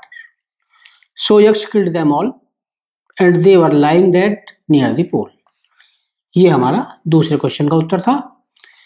अब हम तीसरा question लेते हैं। तीसरा question है how did the Yaksha reward Yudhishthira and why Yaksha ने युधिष्ठर को पुरस्कृत क्यों किया और किस तरह किया?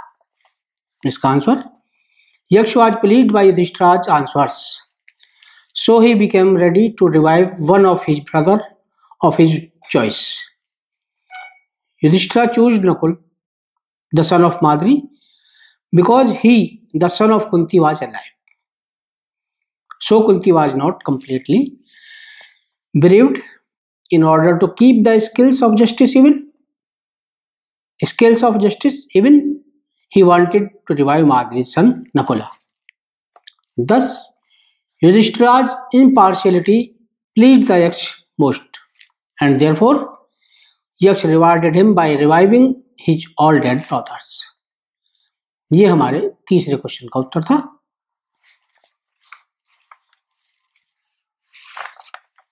question number four give a character sketch of Yudhishthira इसमें युधिष्ठर की चरित्र की विशेषताएँ पूछी गई हैं आप नोट कर लें the character sketch of Yudhishthira is given below. Number one eldest brother. Yudhishthira was the eldest of all Pandavas. They were five in all. They had been living in exile.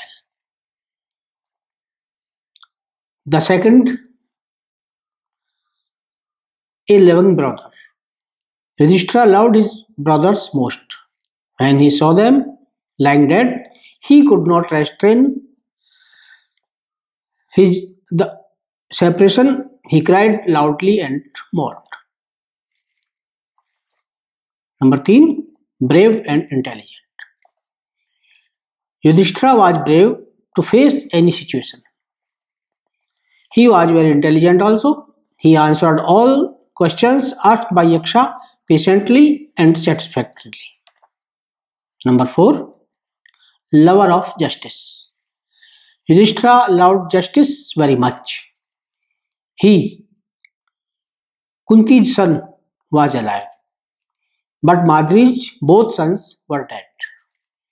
So he chose Nakula to be revived, so that the scale of justice should be even. These are the main features of his character.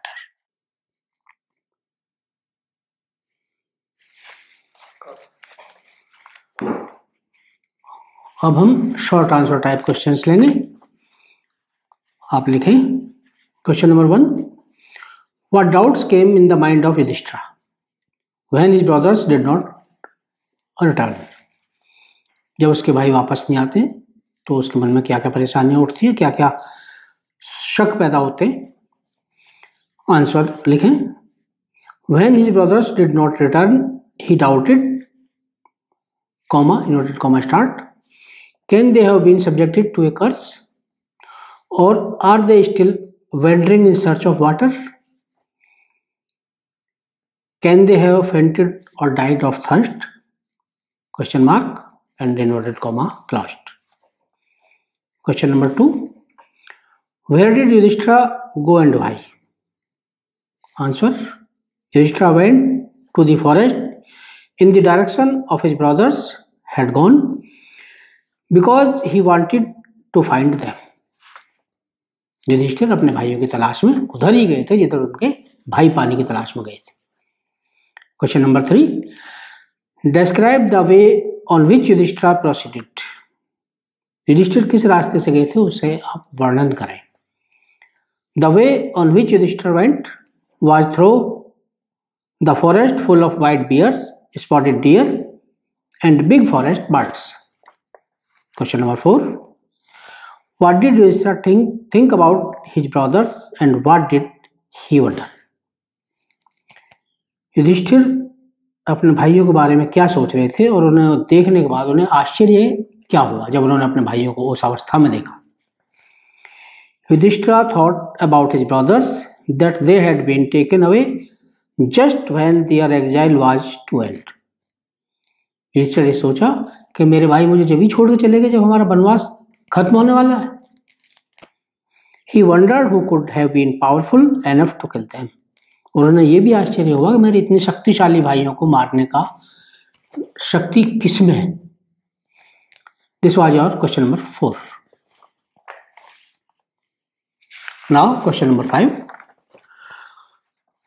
what did he descend into pool why did he descend into the pool what happened then Yudhishthir तालाब में क्यों उतरे और जब वो तालाब में उतरे तो क्या हुआ he descended into pool to quench his overpowering thirst he also hear the same warning of answering the question first जब वो उस तालाब में पानी पीने के लिए उतरे तो उनके साथ भी वही हुआ। उन्होंने वो आवाज़ सुनी और उस आवाज़ ने उनसे कहा कि पहले मेरे प्रश्नों का उत्तर दो, तब पानी पीना।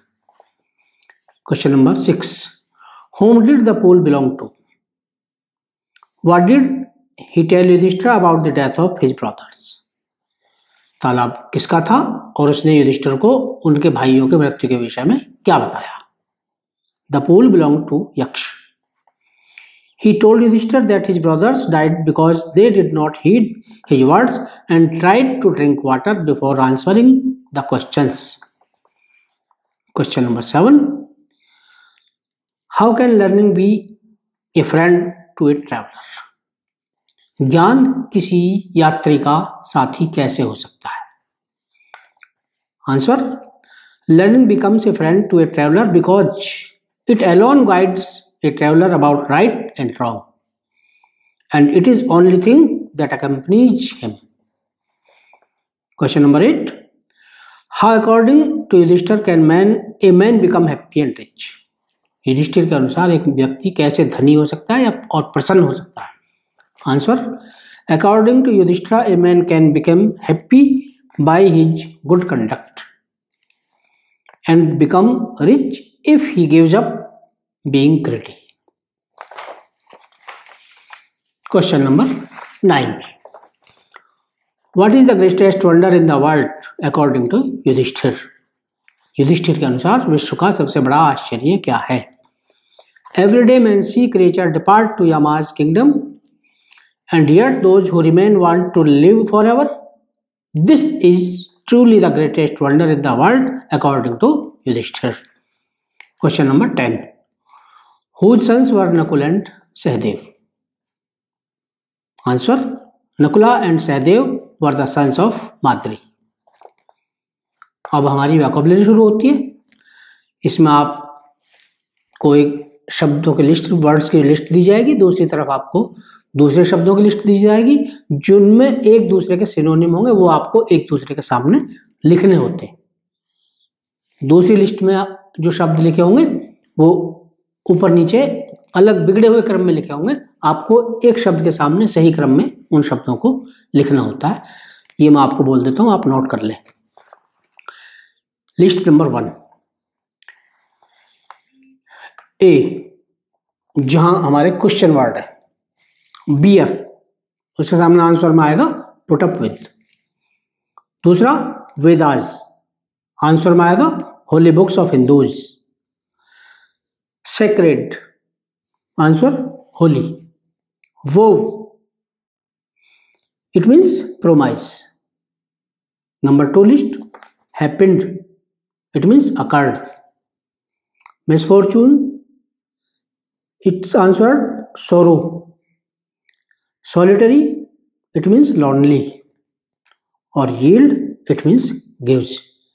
और इनके जो क्वेश्चन हैं वो लिस्ट आपके पास हम पहली वीडियो में दे चुके हैं आप उसमें टैली कर सकते हैं हमने केवल आपको आंसर दे दिए आप इन्हें याद कर लेंगे अब आपका fill in the blanks start होता है वोकेबलरी का B part fill in the blanks of following sentences with the words given below words दिए हुए हैं guessed proud swifter than preferred and content इसका हमने आंसर दिया है सीधा। The pool content clean water दूसरे में Yudhishthir referred Nakul to his brothers other brothers अर्थात युधिष्ठिर ने अपने अन्य भाइयों के मुकाबले नकुल को ज़्यादा वरीयता दी थी। नंबर तीन when the Yaksha warned Yudhishthir, the latter guessed what happen to his brothers number चार a man who is proud of himself of his position and wealth is not allowed by anybody इसमें इसका answer है proud use करना है इसमें। और सबसे last में आपको यूज़ करना है man mind is swifter than the अब हमारा सी पार्ट वोकेबलरी का स्टार्ट होता है। Fill in the blanks of following sentences with a suitable phrase जो हमें नीचे फ्रेज दी गई है, उनमें से आपको सुटेबल ढूंढनी है और उन्हें आपको सेंटेंसेज में, जो दिए गए उन्हें यूज़ करना है। ये आपके पास है उसमें वीडियो में, पिछली में। आंसर में बोलता हूँ। पहला क्वेश्चन एंड आंसर है when Yudhishthir brothers did not return he was filled with a feeling of uncertainty and fear ये शब्द आपका आंसर है feeling of uncertainty and fear पहले सेंटेंस में भरा जाएगा। दूसरे में आप भरेंगे his brothers had become a victim to the Yaksha's words calling for punishment this is the answer calling for punishment. तीसरा the pool was surrounded by a piece of grassland its answer is a piece of grassland हमारा चौथा question है he saw his brothers lying without movement and sound इसका answer है without movement and sound बिना हिले डुले, बिना किसी आवाज़ के। His brothers had been made aware of the danger इसका answer made aware of the danger ये फ्रेज हमने इस सेंटेंस में पाँचवें में यूज़ की है। अब इसका डी पार्ट शुरू होता है। Use the following phrases in your own sentences जो दी गई फ्रेजेज हैं, वो हमें अपने सेंटेंसेज में, अपने प्रयोग, शब्दों, अपने उसमें, वाक्यों में प्रयोग करनी है। पहली कीप ऑन दूसरी वेंडर अबाउट तीसरी लुक फॉर चौथी just when and the other is none other than इन्हें हम यूज़ करते चलते हैं। पहली कीप ऑन इसे हम यूज़ करेंगे। The patient kept on crying of pain whole the night अगला वेंडर अबाउट को यूज़ करेंगे। Why are you wondering about in this locality तीसरी look for I am looking for my lost book चौथा just when I reached home just when it started raining heavily अगला none other than इसे हम use करेंगे. The person who talk on phone last night can be none other than your friend this is the end of your lesson chapter number one and thanks हमने पिछली video में, अगर इन questions की हिंदी में, किसी की समझ में नहीं आई है तो हमने पिछली वीडियो में वो सारा एक्सप्लेन किया है। सबसे पहली वीडियो में, उसे आप दोबारा देख सकते हैं। वो सब कुछ आपके समझ में आ जाएगा। ठीक है? थैंक यू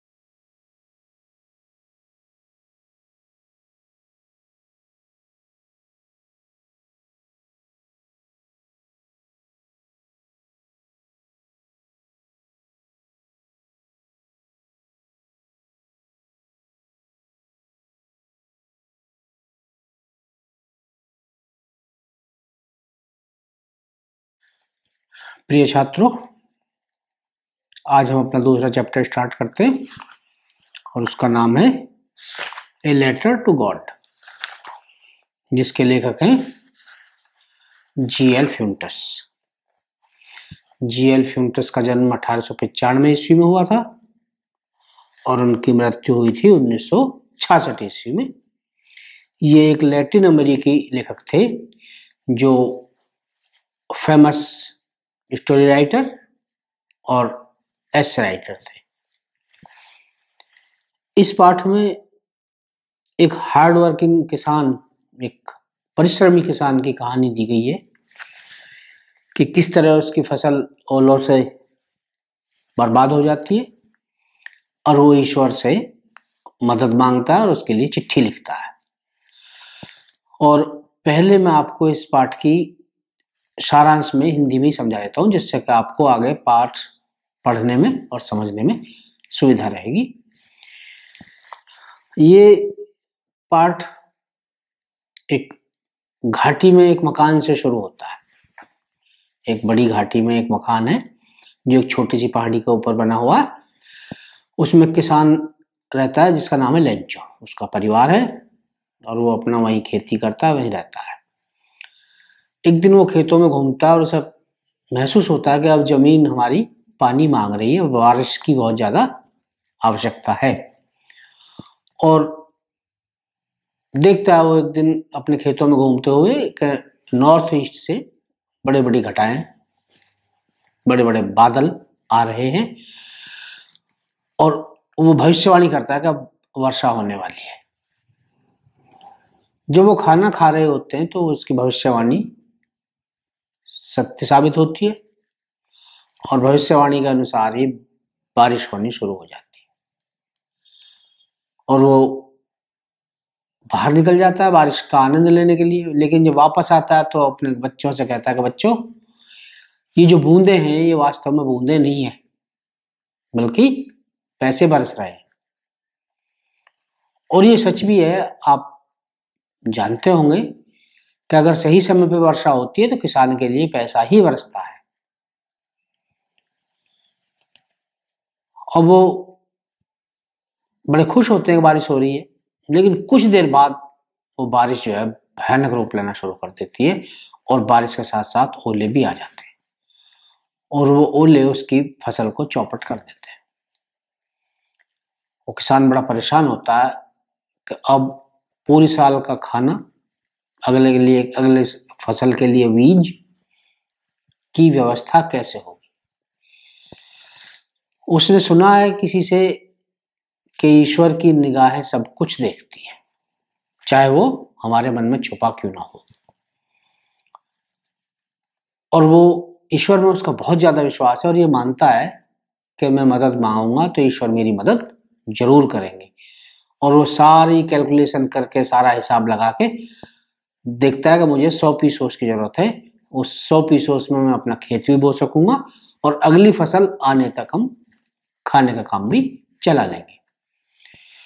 वो आने वाले संडे में सुबह सुबह रविवार को, आने वाले रविवार को पोस्ट ऑफ़िस जाता है और वहाँ से एक चिट्ठी लिख के पोस्ट ऑफ़िस में लेटर बॉक्स में डाल देता है और उस पर एड्रेस लिखा होता है, टू गॉड और ये जो टू गॉड एड्रेस है, इसे देख के जो वहाँ का पोस्टमैन है, जो डाकिया है, वो बड़ा आश्चर्य में पड़ता है और बड़े जोरों से हंसता है। उसे देखने के बाद पोस्ट मास्टर को दिखाता है, वो सारे हँसते हैं बड़ी ज़ोर से, लेकिन उस किसान के उस विश्वास को देख कर पोस्ट मास्टर बड़ा प्रभावित होता है और वो सोचता है कि चलो इसकी मदद कर देते हैं। वो खुद और अपने साथियों से कह कुछ पैसे इकट्ठे करते हैं और आधे से कुछ अधिक पैसे वो इकट्ठा कर पाते हैं और उसे लिफाफे में डाल के और एड्रेस लिख देते हैं लेंचो का और जो भेजने वाला है उसके जगह लिख देते हैं गॉड। वो लिफाफा लेंचो के पास पहुँचता है। अगले रविवार में लंचो फिर आता है कि क्या मेरे लिए कोई लिफाफा है? तो पोस्टमैन जिसने वो लिफाफा पहले निकाला था लंचो का लिफाफा वो आता है और उसे हैंड ओवर कर देता है। और छुप के देखते हैं वो सभी के जो इसमें पैसे हैं, जो हमने इसकी भलाई का काम किया, उसे देखने के बाद इसके चेहरे पे क्या रिएक्शन आते हैं, क्या प्रतिक्रिया आती है? क्या इसे आश्चर्य होता है कि पैसे मिले लिफाफे में? लेकिन जब लैंचो लिफाफा खोलता है, उसमें वो पैसे देखता है, उसे बिल्कुल आश्चर्य नहीं होता, वो पूरे विश्वास के साथ कि जैसे ये तो होना ही था। ये उसका विश्वास है ईश्वर में कि मैंने मदद मांगी है तो ईश्वर विश्वास मेरी मदद ज़रूर करेंगे। अब लेकिन जब वो उन पैसों को गिनता है तो उसे गुस्सा आ जाता है। क्यों? क्योंकि पैसे कम है। अब वो दोबारा खिड़की बजाता है और उनसे पेन और पेपर माँगता है और फिर चिट्ठी लिखता है बड़े गुस्से में कि आपने जो पैसे भेजे थे वो कम है, मेरे पूरे पैसे भेजो बचे हुए। और डाक खाने के थ्रू मत भेजना, क्योंकि यहाँ पर सब चोर बैठे बस ये आपकी कहानी है, और अब आप अपनी किताब निकाल लें, अपने पाठ खोलें, और पढ़ना शुरू करते हैं। The house the only one in the entire valley sat on the crest of a low hill एक मकान, जो बड़ी घाटी में एक छोटी सी पहाड़ी की चोटी पर बना हुआ है। क्रेस्ट माने चोटी। एंट्रावेल मीन्स बहुत बड़ी घाटी। घाटी वो होती है जहाँ जिसमें चारों तरफ़ बड़े बड़े पहाड़ होते हैं और उसके बीच में एक समतल मैदान होता है। उसे घाटी बोलते हैं। From this height one can see the river and the field of ripe corns corn dotted with the flowers that always promise a good harvest और जितनी ऊंचाई पर छोटी जैसी पहाड़ी है, जितनी ऊंचाई पर उसका मकान बना हुआ है, वहाँ से वो या कोई भी वहाँ से बहने वाली नदी और उसके फूलों से भरे हुए खेतों को देख सकता है, जो ये बता रहे हैं कि इस बार फ़सल बहुत अच्छी होने वाली है। The only thing the earth needed was a downpour or at least A shower लेकिन अब धरती को बारिश की ज़रूरत थी, पानी की ज़रूरत थी, या तो एक अच्छी बारिश हो जाए या कम से कम छिड़काव सा तो हो ही जाए। Throughout the morning Lencho who knew his fields intimately had done nothing else but seen the sky towards the north east उस दिन लेंचो ने सुबह से कुछ नहीं किया, वो केवल अपने खेतों में घूमता रहा, जो अपने खेतों से बहुत अच्छी तरह परिचित था।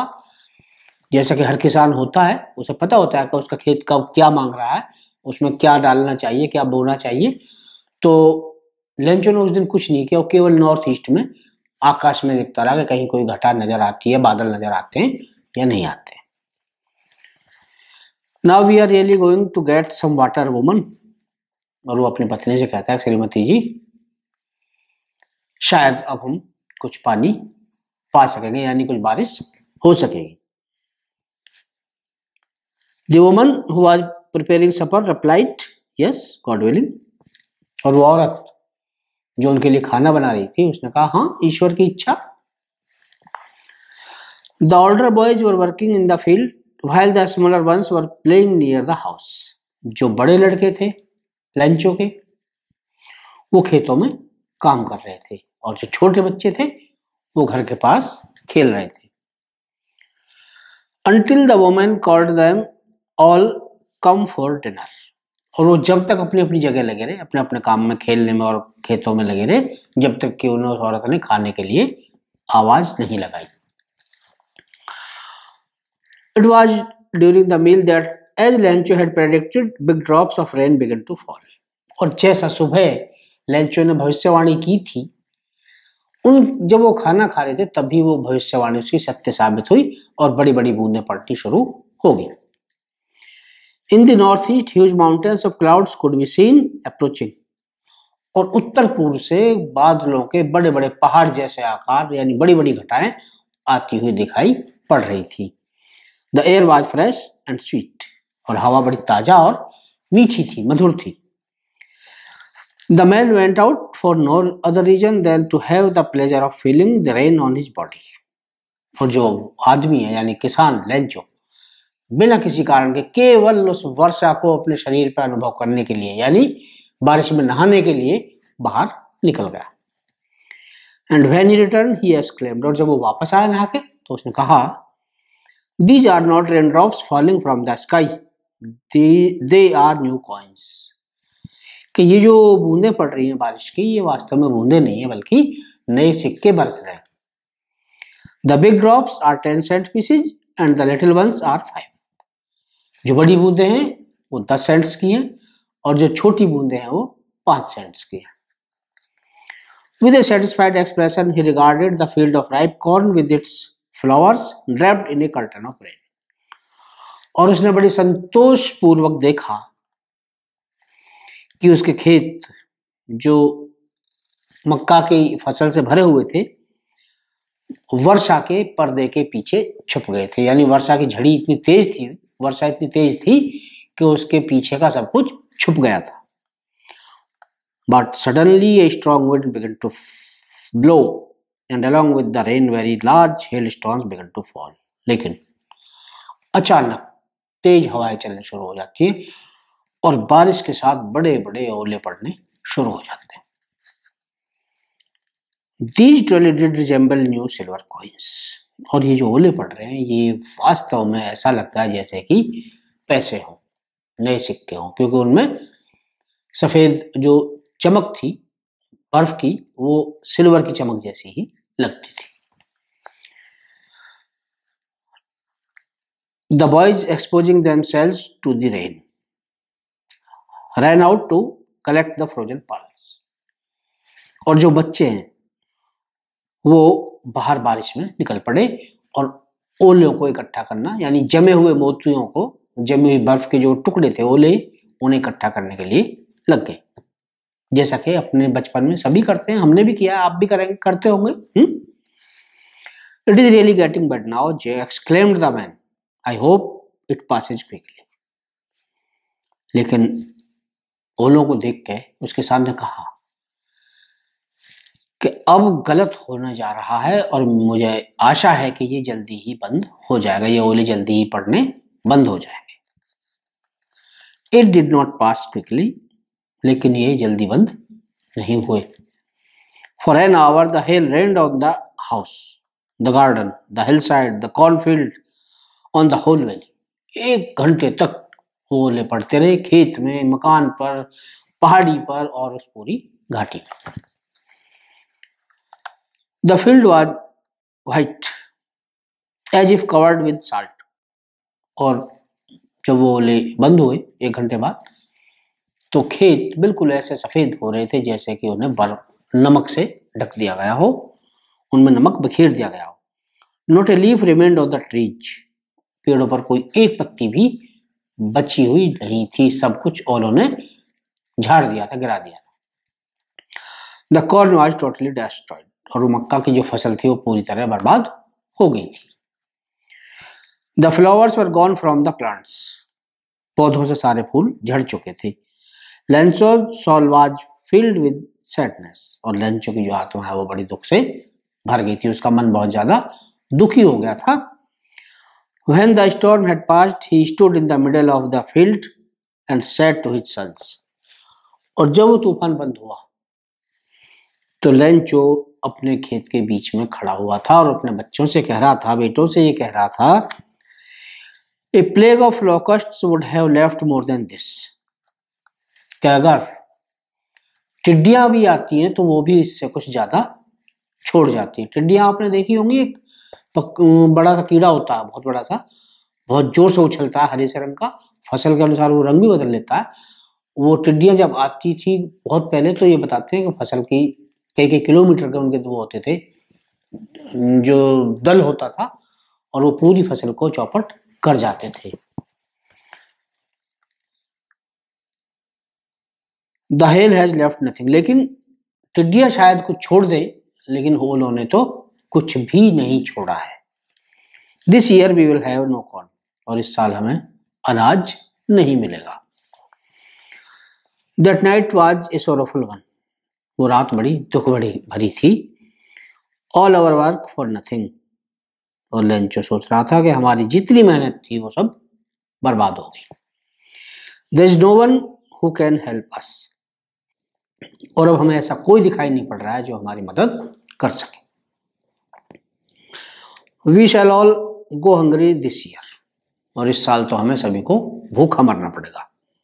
But in the hearts of all who lived in the that solitary house in the middle of the valley there was a single hope help from God लेकिन जो लोग उस घाटी के मकान में रह रहे थे, उनके मन में कहीं ना कहीं एक उम्मीद, एक आशा की किरण थी, ईश्वर की मदद, कि हमें ईश्वर से मदद ज़रूर मिलेगी।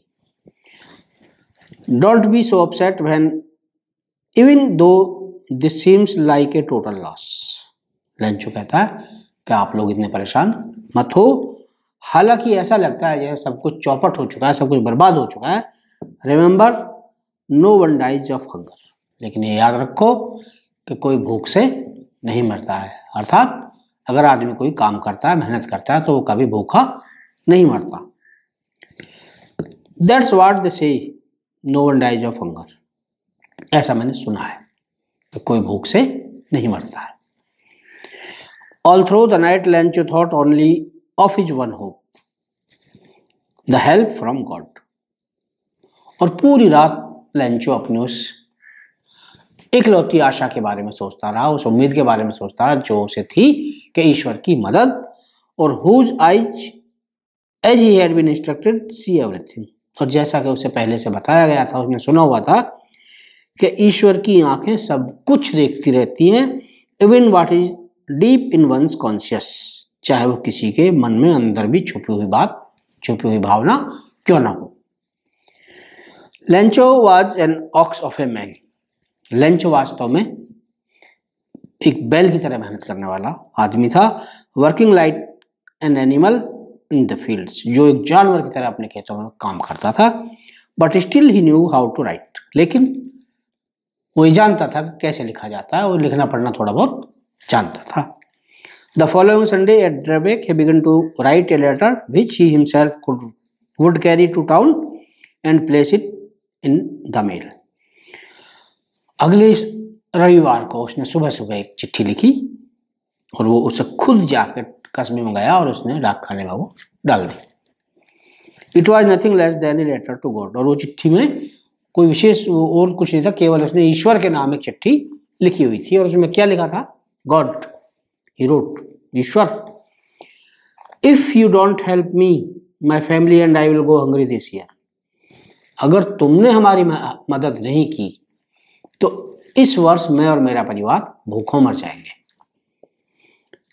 I need a hundred pesos in order to sow my field again and to live until the crop comes because the hail storms dotted मुझे सौ पीसोज की बहुत ज़्यादा ज़रूरत है, जिससे कि मैं अपने खेतों को फिर से बो सकूँ और जब तक फ़सल आती है, जब तक हम भोजन भी प्राप्त कर सकें, क्योंकि ओलों ने सब कुछ बर्बाद कर दिया है। He wrote to God on the envelope और उसने उसके ऊपर, लिफाफे के ऊपर लिखा टू गॉड एड्रेस में। Put the letter inside and still troubled went to town और वो लेटर उसने लिफाफे में रखा और बड़ा परेशान सा कस्बे को चला गया। At the post office he placed a stamp on the letter and dropped it into the mail वहाँ जाकर उसने टिकट लिया लिफाफे पे लगाया और उसे लेटर बॉक्स में डाल दिया। One of the employees who was a postman and also helped at went his, to his law boss laughing heartily and showed him a letter to God. जो डाक खाने के कर्मचारी थे, उनमें डाकिया था जो वहाँ पे काम भी करवा देता था उसमें डाक खाने में। और उसने जब वो लिफाफा निकाला लेटर बॉक्स में से तो उसका एड्रेस देख कर बड़े ज़ोर से हंसा और हँसते हुए अपने बॉस के पास, अपने अफसर के पास पहुँच गया और उसे वो लेटर दिखाया उसने। Never in his career as a postman he had he known this that address और अपने पूरे सर्विस कैरियर में, पूरे सर्विस टाइम में, अब से पहले उसने ये एड्रेस कभी नहीं देखा था। The post master a fat amiable fellow जो पोस्ट मास्टर था, वो एक मोटा खुश मिजाज आदमी था। ऑल्सो ब्रोक आउट लाफिंग और जब उसने ये एड्रेस देखा पोस्ट मास्टर ने तो वो भी बहुत ज़ोर से हंसा। But almost immediately he turn serious लेकिन अचानक वो गंभीर हो गया। Tapping the letter on the desk commented और उसने वो चिट्ठी मेज पर थपथपाते हुए कहा what faith I had I wish I had the faith of man who wrote this letter करे, इतना विश्वास। मेरी इच्छा है, मेरी कामना है कि जितना इस इस किसान का विश्वास ईश्वर में है। काश के मेरा भी हो। Starting up a correspondence with God जिस विश्वास के आधार पर इसने ईश्वर के साथ पत्र व्यवहार करना शुरू किया है, काश मेरा भी इतना विश्वास ईश्वर में हो। So in order to shake the writer's faith in God और उस लेखक के विश्वास को डगमगाने के लिए ईश्वर में से the post master came up with an idea post master के मन में एक विचार आया। आंसर द लेटर के इसका उत्तर देते। But when he open it it was evident that to answer it needed it he needed something for more than goodwill ink and paper लेकिन जब उसने वो पेपर जो लिफाफा खोला तो पता चला कि इस चिट्ठी का जवाब देने के लिए केवल सद्भावना ही काफ़ी नहीं है, बल्कि सद्भावना और कागज़ और पेन के अलावा कुछ और भी चाहिए। और वो था धन, पैसा। But he struck to his resolution लेकिन वो अपने विचार पर जमा रहा। He art for money for from his employ उसने अपने जो साथी थे, कर्मचारी थे और उनसे पूछा कि भाई आप लोग भी कुछ पैसा इकट्ठा करेंगे? He himself gave part of his salary and several friends of his were obliged to give something for an act of charity उसने खुद भी अपनी तनख्वाह का एक हिस्सा दिया उसमें और उसके जो साथी थे, जो सहयोगी थे, दूसरे कर्मचारी जो थे, उन्होंने भी उस भलाई के काम में हिस्सा लिया। An act of charity means भलाई का, पुण्य का कार्य। It was impossible for him to gather together the hundred pesos इस बात सेंटेंस पे आप दोबारा ध्यान दें। It was impossible for him to gather together the hundred pesos यहाँ टू गैदर और टू गैदर लगभग एक जैसा लगता है, लेकिन इसका मतलब अलग अलग है। ये शब्द दो अलग अलग एक है टू गैदर यानी इकट्ठा करना, और टू गैदर मीन्स एक साथ, एक जगह। तो it was it was impossible for him to gather together the hundred pesos लेकिन उस पोस्ट मास्टर के लिए एक साथ एक एक सौ रुपए, एक सौ पीसों से इकट्ठा करना असंभव रहा। So he was able to send the farmer only little more than half वो केवल आधे से कुछ अधिक पैसे भेजने लायक ही हो सका। He put the money in an envelope addressed to Lencho and with them a letter containing only a single word as signature God उसने वो पैसे एक लिफाफे में रखे, उस लिफाफे को बंद किया और उसमें केवल एक चिट्ठी लिख दी, उस पर जवाब देने के रूप में और नाम लिख दिया फ्रॉम गॉड यानी ईश्वर की तरफ़ से the following Sunday Sunday Lencho came a bit earlier than usual, to ask if there was a letter for him. और आने वाले रविवार को लेंचो और दिन से कुछ जल्दी ही उठ गया और वहाँ पोस्ट ऑफ़िस पहुँच गया। ये पूछने के लिए कि क्या उसके नाम की कोई चिट्ठी आई है। It was the postman himself who handed the letter to him while the post master experiencing contentment of a man who has performed a good deed looked on from the doorway of his office जब Lencho ने वहाँ जाकर पूछा कि क्या मेरे लिए कोई चिट्ठी आई है तो उसी डाकिये ने जो पहले निकाल के उस पर पता देख के हंसा था, उसी ने चिट्ठी लेंचो को दे दी कि हाँ आपकी ये चिट्ठी आई है। और वो जो पोस्ट मास्टर था, जिसने काम किया था, जो उत्तर दिया था, वो अपनी सीट पे बैठा हुआ दरवाजे में से ये देखना चाह रहा था कि जब लेंचो चिट्ठी खोलता है, उसमें पैसे देखता है तो उसका रिएक्शन क्या होता है? उसे आश्चर्य होता है कि नहीं होता है। Lencho showed not slightest surprise on seeing the money लेकिन लेंचो ने जरा सा भी आश्चर्य नहीं दिखाया जब उसने पैसे देखे लिफाफे में। But he became angry when he counted the money लेकिन जब लेंचो ने वो पैसे गिने तो वो गुस्सा हो गया, क्रोधित हो गया। God could not have made a mistake और उसे लगा, उसे विश्वास था कि ईश्वर तो कोई गलती कर ही नहीं सकता। Nor could have denied Lencho what he had requested और लेंचो से, जो लेंचो ने मांगा है उसे देने से भी मना नहीं कर सकता। डिनाइड मीन्स मना करना। मना किया। Immediately Lencho went up to the window to ask for paper and ink और बड़ी तेज़ी से लेंचो, उस चिट्ठी को पढ़ने के बाद खिड़की पर गया और वहाँ जाकर उसने कागज़ और स्याही की दवा मांगी। पहले जो चिट्ठियाँ लिखी जाती थी, वो स्याही की पेन से, कलम से लिखी जाती थी, जो अब तो खैर दूर दूर चली गई, वो चीज़ें है ही नहीं।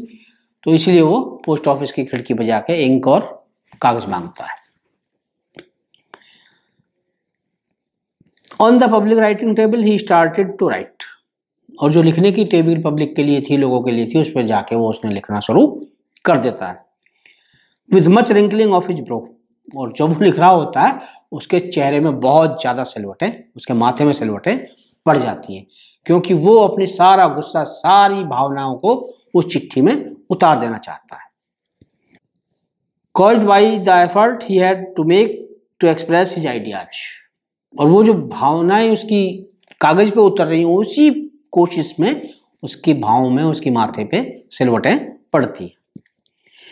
वैन ही फिनिश्ड और जब वो चिट्ठी पूरी कर लेता है he went to the window to buy a stamp which he list, and then affixed to the envelope with a blow of his fist वो फिर डाक खाने की खिड़की पर जाता है, वहाँ से टिकट लेता है और उसे अपने थूक से लगा के लिफाफे को चिपका देता है। ये थूक से लगाना हो सकता है कि आपको महसूस हो, पहले जो चिट्ठियाँ लिखी जाती थी उन पर टिकट लगते थे और उन टिकट के पीछे गम लगा होता था, गोंद लगा होता था, उसे या तो पानी से भिगो या फिर लोग आमतौर पर पानी होता कहाँ था? जहाँ बैठे चिट्ठी ली, टिकट चिपका दिया, उसका ये करते थे, लोग जीप पे लगाई और वो चिपका दी तो पहले ये चीज़ें होती थी, अब तो चिट्ठी लिखना ही बंद हो गया the moment that the letter fell into the mail box the post master went to open it और जैसे ही वो लंच चिट्ठी को मेल बॉक्स में डालकर चला लेटर बॉक्स में डालकर वापस आया वहाँ से तो पोस्ट मास्टर खुद उठा और उसने जाकर वो मेल बॉक्स खोला और वो चिट्ठी निकाल के खोली। इट सेड उस चिट्ठी में लिखा हुआ था इट सेड मीन्स चिट्ठी ने बताया, यानी उसमें लिखा हुआ था, God, Ishwar, of the money that I asked for, वो मनी, वो धन जो मैंने आपसे मांगा था, only seventy pesos reached me, उसमें से केवल सत्तर पीसोस मेरे पास पहुँचे हैं, यानी मैंने सौ मांगे थे थे, और मेरे पास केवल सत्तर पहुँचे हैं। सेंड मी द रेस्ट मेरा बचा हुआ धन, यानी तीस पीसोस जल्दी से मेरे पास भेजो। Since I need it very much क्योंकि मुझे इसकी बहुत ज़्यादा आवश्यकता है। But don't send it to me through the mail लेकिन ये मेरा पैसा डाक खाने के द्वारा मत भेजना। Because the post office employees are a bunch of crooks Lencho क्योंकि डाकखाने के जितने भी कर्मचारी हैं, ये सारे डकैतों का समूह बना बैठा है, ठगों का झुंड बना बैठा है। इसलिए मेरे पैसे डाकखाने के थ्रू मत भेजना लंच तो बच्चों, ये हमारा पार्ट था। दूसरा, जो पूरा हो चुका है, आशा है आपकी समझ में आ गया होगा। और नहीं तो आप इस वीडियो को दोबारा देख सकते हैं, समझ में आ जाएगा। अगली वीडियो में हम आपको इसके क्वेश्चन आंसर कराएँगे। तब तक के लिए थैंक यू। प्यारे विद्यार्थियों, पिछली वीडियो में हमारा chapter a letter to God पूरा हो चुका है। आज हम इसके क्वेश्चन आंसर करेंगे। आप लोग अपनी नोटबुक्स और पेन ले लें और मेरे साथ क्वेश्चन आंसर नोट करते चले जाएँ। ठीक है? शुरू करते हैं हम।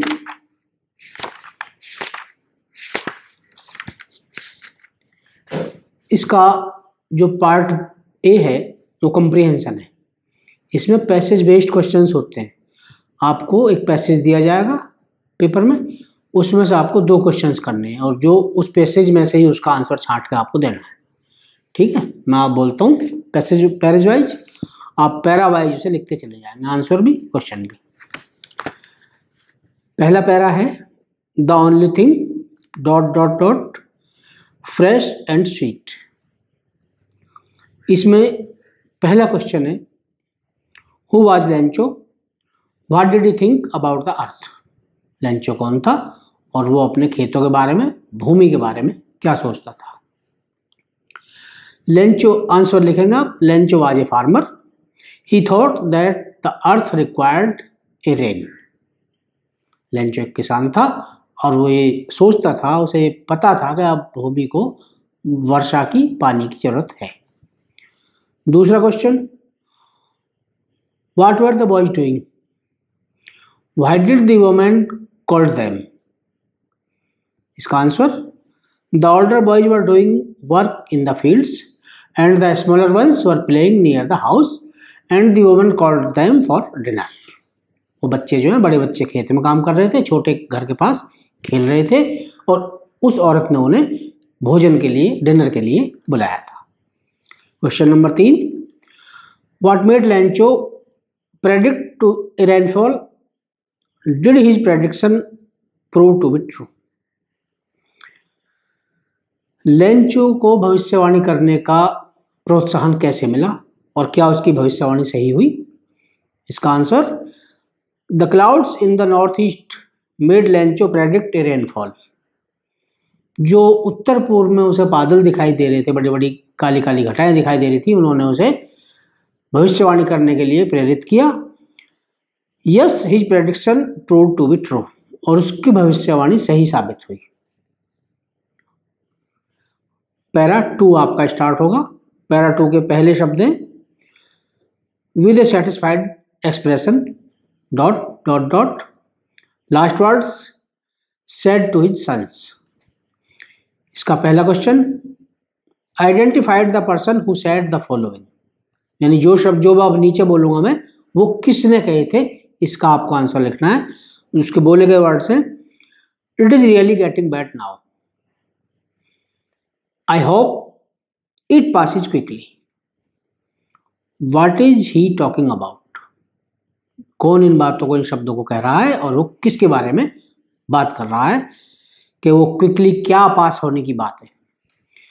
Answer the person is Lencho जो ये बात कह रहा है। And he is talking about the hail storms वो ओलों के बारे में बात कर रहा है कि ये जल्दी ही समाप्त हो जाएगा। Question number two, para two. Why he did he why did he look satisfied Lencho संतुष्ट क्यों दिखाई पड़ रहा था? इसका आंसर है he looked satisfied as he was sure that it would rain soon उसे विश्वास था कि जल्दी ही बारिश होने वाली है, इसलिए वो संतुष्ट दिखाई पड़ रहा था। Question number three what have hail stones been compare to ओलो की तुलना किससे की गई है? इसका answer, the hail stones have been compare to the new silver coins. Question number four, how did the hail stones affected Lencho's fields? Listen again how did the hail stones affect Lencho's fields? ओलो ने Lencho के खेत को किस तरह प्रभावित किया? इसका answer, the hailstones affected the field so much that all his crop was ruined. उन्होंने इतना नुकसान दिया, इतना प्रभावित किया, उसकी फ़सल कि वो फ़सल बर्बाद हो गई। पैरा थ्री स्टार्ट होता है। इसके शुरू के शब्द हैं, इट इज़ रियली गेटिंग और आगे, डॉट डॉट आगे आए लास्ट वर्ड्स है वी हैव नो कॉड इसका पहला question write the name of the lesson from which the above passage has been taken who is the writer of this lesson इसका answer the name of the lesson from which the above passage has been taken is a letter to God. And the name of its writer is G.L. Funtus. Question number 2. Why was Lencho's soul filled with sadness Lencho की आत्मा दुखी क्यों हो गई थी इसका answer है Lencho soul was filled with sadness because his total crop was ruined in the hail storm क्योंकि उसकी सारी फ़सल ओलों से बर्बाद हो गई थी, इसलिए वो बहुत ज़्यादा दुखी हो गया था para four starting words all through the night dot dot because last words लिखेंगे because the hail storms dot dot dot question number one what was Lencho's problem what was his only hope Lencho की अकेली समस्या क्या थी और उसकी इकलौती उम्मीद क्या थी उसकी आशा क्या थी एक इसका answer Lencho's problem was the total loss of his harvest by the hail storm Lencho का नुकसान था ओलों के द्वारा उसकी पूरी फ़सल को चौपट कर देना, सबसे बड़ी समस्या थी उसकी। His only hope was the help of God और उसकी अकेली उम्मीद थी, अकेली आशा थी, ईश्वर की मदद क्या उसे ईश्वर से मदद मिल जाएगी। Question number two para four what did Lencho think of all through the night पूरी रात लेंचो क्या सोचता रहा? Answer Lencho thought of all through the night only of his one hope it was the help from God question number three what had Lencho learn about God Lencho को ईश्वर के बारे में क्या बताया गया था? इसका उत्तर Lencho had learn about God that his eyes see everything even is once conscious Lencho को बताया गया था कि ईश्वर की निगाहें सब कुछ देखती हैं, चाहे वो किसी के बिल्कुल अंदर मन में छुपी हुई बात क्यों ना हो। Question number four why would Lencho's family go hungry what help did he want इसका answer Lencho's family would go hungry due to total loss of his crop by hail storms He wanted 100 pesos help to sow his fields again and to feed his family until the crop comes. Question number 5. Quote the words which tell you the that Lencho was a hard working man. वो शब्द passage में से निकालिए जिनसे ये पता चलता है कि लेंचो बहुत मेहनती व्यक्ति था तो answer Lencho was an ox of man इसे आप कॉमाज में क्लोज कर देंगे। Where these words which tells us that he was a hard working man ये दोबारा सुन लें।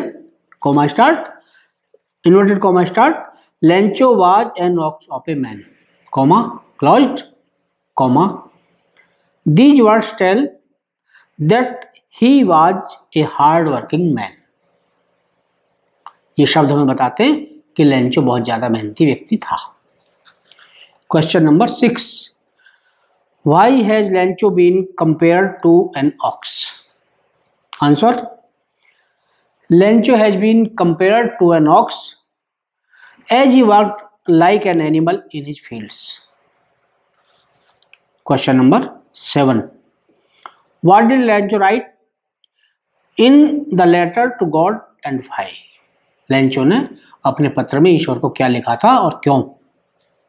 Answer, Lencho wrote in the letter to God to send him hundred pesos, to sow his fields again and to feed his family until the crops come Lencho ने letter इसलिए लिखा था God को कि उसे सौ पीसोज चाहिए, जिससे कि वो अपने खेतों को दोबारा बो सके और अगली फ़सल आने तक अपने परिवार का पालन पोषण भी कर सके।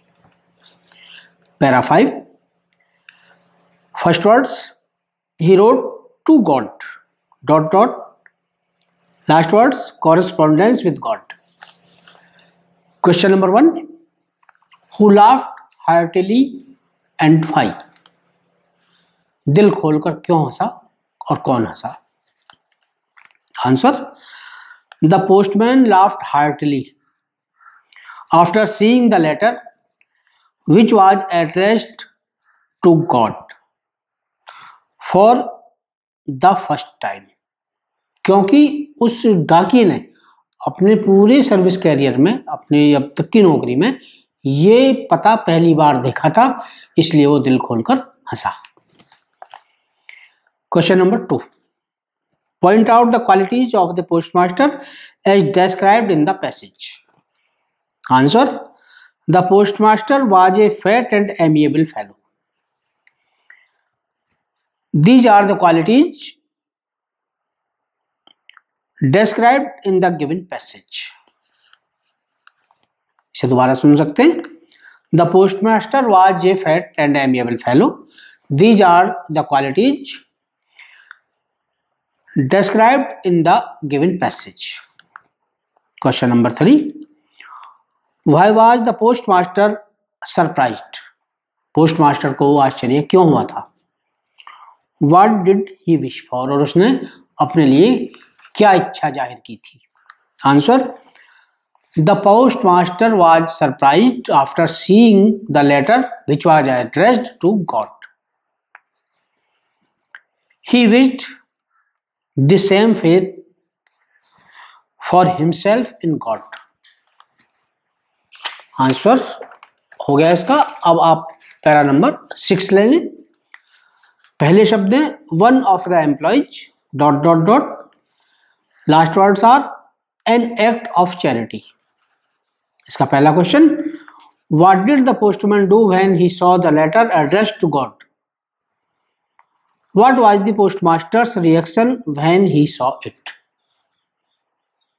जब पोस्टमैन ने ईश्वर के नाम पत्र देखा तो उसने क्या किया?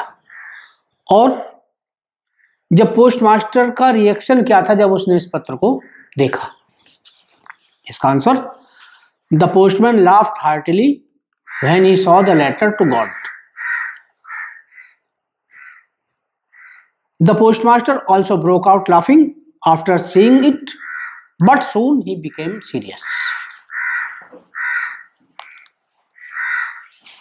question number 3. Why did the postmaster decided to answer the letter as did to God? Was it easy to do so जब पोस्टमास्टर ने ईश्वर के नाम पत्र देखा तो उसने क्या किया? और उसने उसका उत्तर देने का निश्चय क्यों किया? और क्या उस पत्र का उत्तर देना आसान था? इसका उत्तर हम लिखते हैं। The post master decided to answer the letter because he wanted to keep the writer's faith in God no it was not easy to do so जब पोस्ट मास्टर ने वो लेटर टू गॉड देखा तो उसने उसका उत्तर देने का निश्चय किया, जिससे कि लिखने वाले का विश्वास उस ईश्वर में बना रहे। लेकिन उस पत्र का जवाब देना कोई बहुत आसान नहीं था। Question number three in the words comma inverted comma start but he struck to his resolution inverted comma closed the words resolution means इस लाइन में जो रिजोल्यूशन शब्द आया, उसका मतलब है नंबर एक formal expression of opinion by an official meeting number दो solving doubt, problem, question. Number तीन, फॉर्म डिसीज़न। तो इसमें जो पहले दिया है इन्होंने the formal expression of opinion by an official meeting यानी एक कार्यालय की मीटिंग में अपने बातों को सामने रखना नॉर्मली सामान्य तौर पे। नंबर दो, सॉल्विंग डाउट, प्रॉब्लम, क्वेश्चन। किसी शक को, किसी समस्या को या किसी प्रश्न को हल करना। ये रिजोल्यूशन के मीनिंग पूछ रहा हो। या नंबर तीन उसने दिया फर्म डिसीज़न एक दृढ़ निश्चय। तो इसमें ये पूछता है point out the most suitable answer इसका सबसे अच्छा उत्तर छांटिए, और इनमें इसका आंसर है the most suitable answer is firm decision यानी इसका सबसे अच्छा उत्तर है दृढ़ निश्चय, जो उसने दृढ़ फैसला कर लिया, पक्का निर्णय। Question number four what did the post master do to answer the letter इसका answer the post master collected some money from his colleagues and he himself gave a part of his salary उसने अपने साथियों से कुछ पैसा इकट्ठा किया, कुछ अपनी तनख्वाह का हिस्सा उसने खुद भी दिया। Para seven. इसके शुरुआत के शब्द हैं so comma in order to shake dot dot dot he counted the money question number one what was who was collected the hundred pesos and five इसका answer the post master was collected the hundred pesos because he wanted to send this to Lencho as the help of God. Question number two. How much money was put in the envelope? Who was the envelope addressed to? इसका answer only 70 pesos were put in the envelope and the envelope was addressed to Lencho. Question number 3. Why did Lencho go to the post office Next day? इसका answer Lencho went to the post office the next day because he was hopeful of getting some money from God. वो इसलिए अगले दिन, अगले रविवार में post office गया था कि उसे ईश्वर की तरफ़ से कोई चिट्ठी, कोई पैसा आने की उम्मीद थी। Question number four why did post master decided to answer the letter addressed to God इसका answer The postmaster decided to answer the letter to God because he wanted to shake the writer's faith in God. Question number 5. How did the postmaster collected collect money to be sent to Lencho? Again, listen. How did the postmaster collect money to be sent to Lencho? लंचों को भेजने के लिए postmaster ने पैसा किस तरह इकट्ठा किया था? इसका answer, the post master collected money from his colleagues and he himself gave a part of his salary. Question number six, who handed the letter to Lencho? What were the feelings of the post master when he when the letter was being handed to Lencho Lencho को खत किसने दिया था? और postmaster उस समय क्या महसूस कर रहा था जब लेंचो को खत दिया जा रहा था? इसका answer? The postman handed the letter to Lencho. When the letter was being handed to Lencho, the post master was feeling the contentment of a man who has performed a good deed अर्थात Lencho को जो letter दिया था वो उस postman ने दिया था। और पोस्ट मास्टर इस तरह महसूस कर रहा था, ऐसी भावनाएँ उस टाइम थी, जैसे उस व्यक्ति की होती है जो कोई भलाई का काम करता है, जिसने कोई बहुत अच्छा काम किया हो और उसका रिज़ल्ट देखना चाह रहा हो। Question number seven why was Lencho angry Lencho गुस्सा क्यों हो गया? Answer Lencho was angry because he found less money in the envelope क्योंकि उसे पैसे कम मिले थे। Para eight first words Lencho showed not dot dot dot last words bunch of crooks Lencho इसका पहला क्वेश्चन है why did Lencho not show any surprise on seeing the money? Why did he become, why did he became angry? Lencho ने पैसा देखने के बाद आश्चर्य व्यक्त क्यों नहीं किया और वो गुस्सा क्यों हो गया इसका answer Lencho did not show any surprise on seeing the money because he had full faith in God. He became angry when he saw the less money in the envelope. Question number two.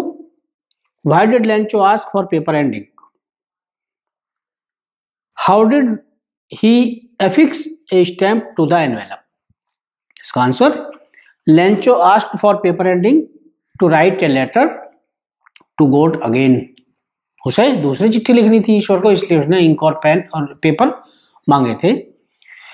He licked the stamp and affix to the envelope with a blow of fist question number three how much money did Lencho get Lencho को कितना पैसा मिला लिफाफे में? इसका answer Lencho got seventy pesos only in the envelope उसे केवल सत्तर पीसोज मिले। Question number four why did Lencho request God not to send the money through the mail इसका answer Lencho requested God not to send the money through the mail because according to him the post office employees were a bunch of crooks It means they were cheaters.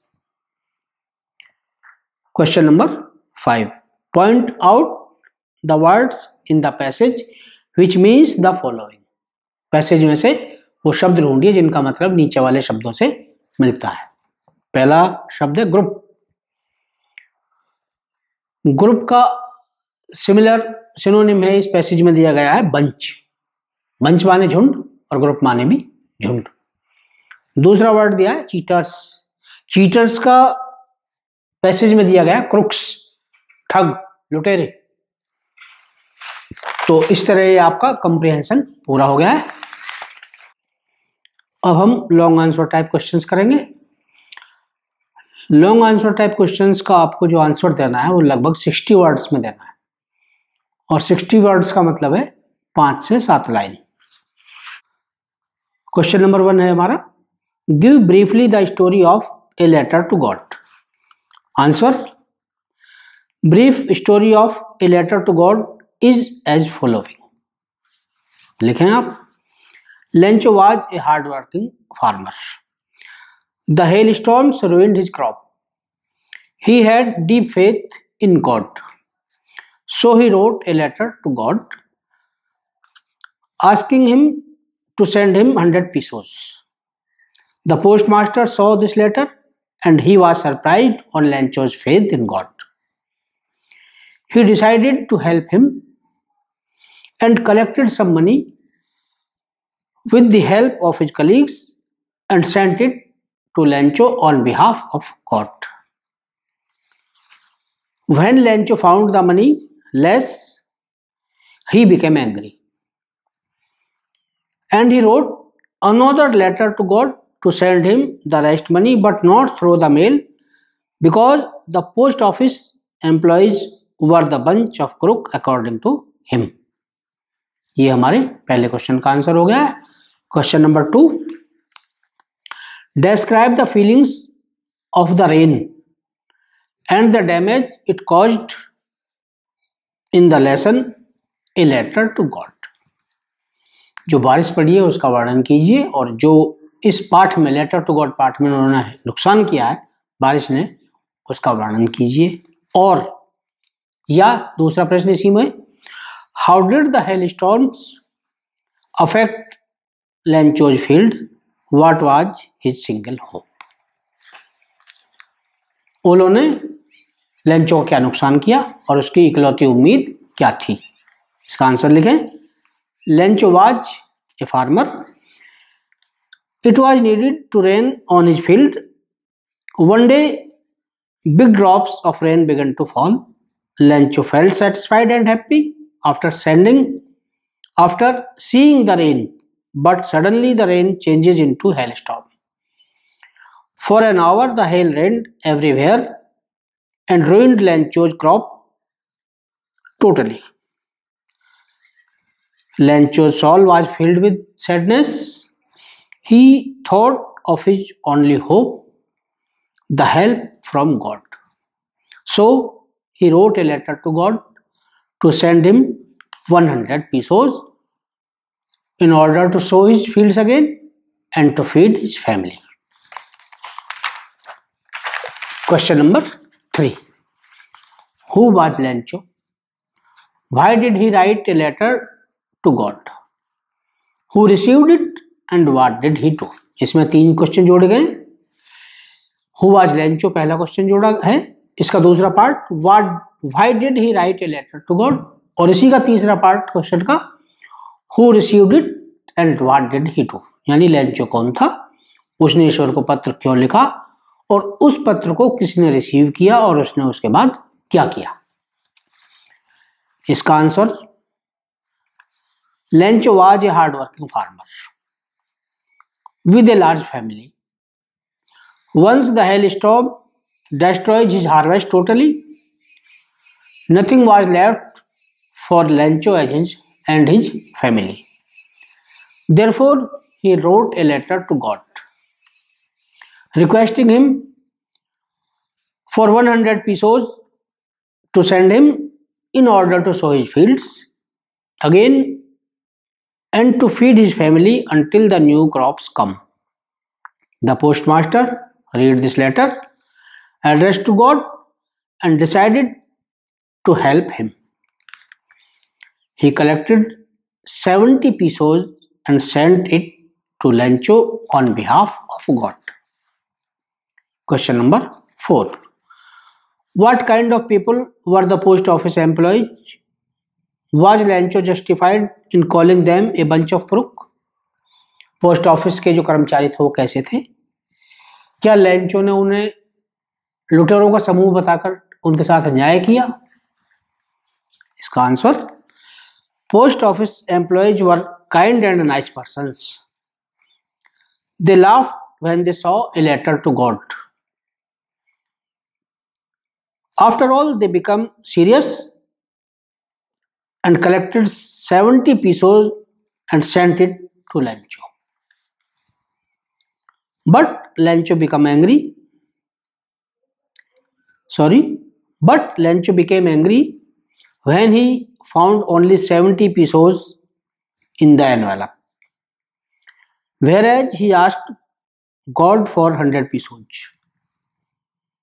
He now think that the post office employees had taken away 30 pesos from the envelope. So he called them a bunch of crooks. Lancho does not justify when he called them cheaters. Question number 5. Give a character sketch of the postmaster. Postmaster का चरित्र चित्रण कीजिए। इसका answer, the post master was a fat and jolly nature person. When he saw the letter to God, he broke out laughing. For the sake of fun, he decided to answer the letter in order to shake the writer's faith in God. He decided to help the farmer in need he collected money from his colleagues and himself gave a part of his salary. He experienced the satis satisfaction of a man who had done a good deed. These all are the main qualities of the postmaster. Question number six. Give a character sketch of Lencho. Lencho के चरित्र चित्रण बताइए आप Lencho का चरित्र चित्रण कीजिए उसका answer Lencho was a hard-working farmer. He had a deep faith in God. His fields needed water. So when rain began to fall, he felt very satisfied and happy. But with the rain, hailstones also fall in the large number and ruined his total crop. He felt worried how he would feed his family and sow his fields again. He requested God to send him 100 pesos and write a letter to God. But when he got a letter filled with money from God, he did not show any surprise as he had full faith in God. यानी जब उसे पैसे मिलते तो वो कोई आश्चर्य व्यक्त नहीं करता क्योंकि उसे ईश्वर में ईश्वर में पूरा विश्वास होता And when he found the less money in the envelope, he became angry. जब उसे पैसे कम मिलते तो वो नाराज़ हो जाता है। And he wrote a letter again to God requesting him not to send the money through the mail ये उसका करेक्टर स्केच है। अब हमारे short answer type question start होंगे। इनमें आप जो आंसर देंगे वो 25 शब्दों में देना है। नियर अबाउट थ्री और फोर लाइन्स यानी तीन और चार लाइन में आप इसका उत्तर दे देंगे। Question number one where was the house located why do you think it is called the house not a house यानी मकान कहाँ पर बना हुआ था? और इस मकान को दी हाउस क्यों कहा गया है? ए हाउस क्यों नहीं कहा गया है? इसका answer the house was located on the a peak of a small hill in the entire valley. It is called the house because it was the only house in the whole valley. यानी एक छोटी सी पहाड़ी के ऊपर बना हुआ था मकान लेंचो का और उसे दी हाउस इसलिए कहा गया है क्योंकि उस पूरी घाटी में वो अकेला मकान था question number two now we're really we are really going to get some water woman ये आपको इन्वर्टेड कॉमा में क्लोज करना है। मैं फिर से बोल देता हूँ। इन्वर्टेड कॉमा स्टार्ट करें आप। Now we are really going to get some water woman comma close full stop is Lancho sure that it is going to rain? Give a reason for your answer इसका answer लिखिए। Yes Lencho is sure that it would rain because he had looked clouds in the north east sky this cloud made the rain sure question number three what happened at the meal time भोजन करते समय क्या हुआ? इसका answer at the meal time big drops of rain began to fall question number four what object Lencho called the new coins why he called answer Lencho called the rain drops new coins he called it so because the rain drops would enrich the harvest उसने बूंदों को नए सिक्के इसलिए कहा था क्योंकि उनसे फ़सल अच्छी होती और अच्छी फ़सल होती तो पैसे ज़्यादा मिलते, इसलिए उसने उन्हें नए पैसे कहा है।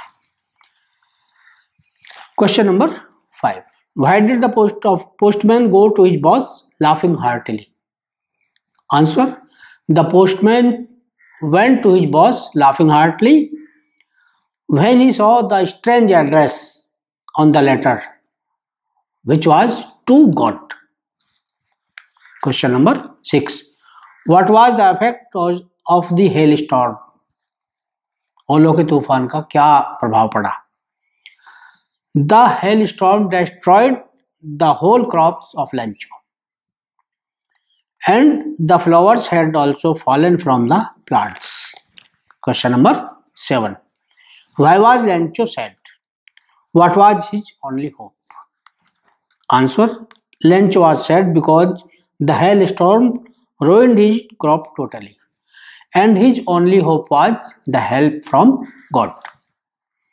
Question number 8 Why did the postman laugh at Lancho's letter? Answer The postman laughed at Lancho's letter because it was addressed to God. Question number 9 when did Lencho receive the letter? Why did he became angry? जब Lencho को पत्र मिला तो गुस्सा क्यों हो गया इसका answer when did Lencho receive the letter? Lencho ने पत्र कब प्राप्त किया on the following Sunday Lencho received the letter आने वाले रविवार को लेंचो ने पत्र प्राप्त किया he became angry when he found less money in the envelope और जब उसे लिफाफे में कम पैसे मिले तो वो क्रोधित हो गया। Question number ten why should the post master have not allowed Lencho's letter to God to remain unanswered इसका उत्तर the post master should have not allowed Lencho's letter to God to remain unanswered because it would have shaken his faith in God post master ने Lencho के पत्र को निरुत्तर इसलिए नहीं रहने दिया जिससे कि उसका विश्वास भगवान में बना रहे, उसे कोई ठेस ना लगे।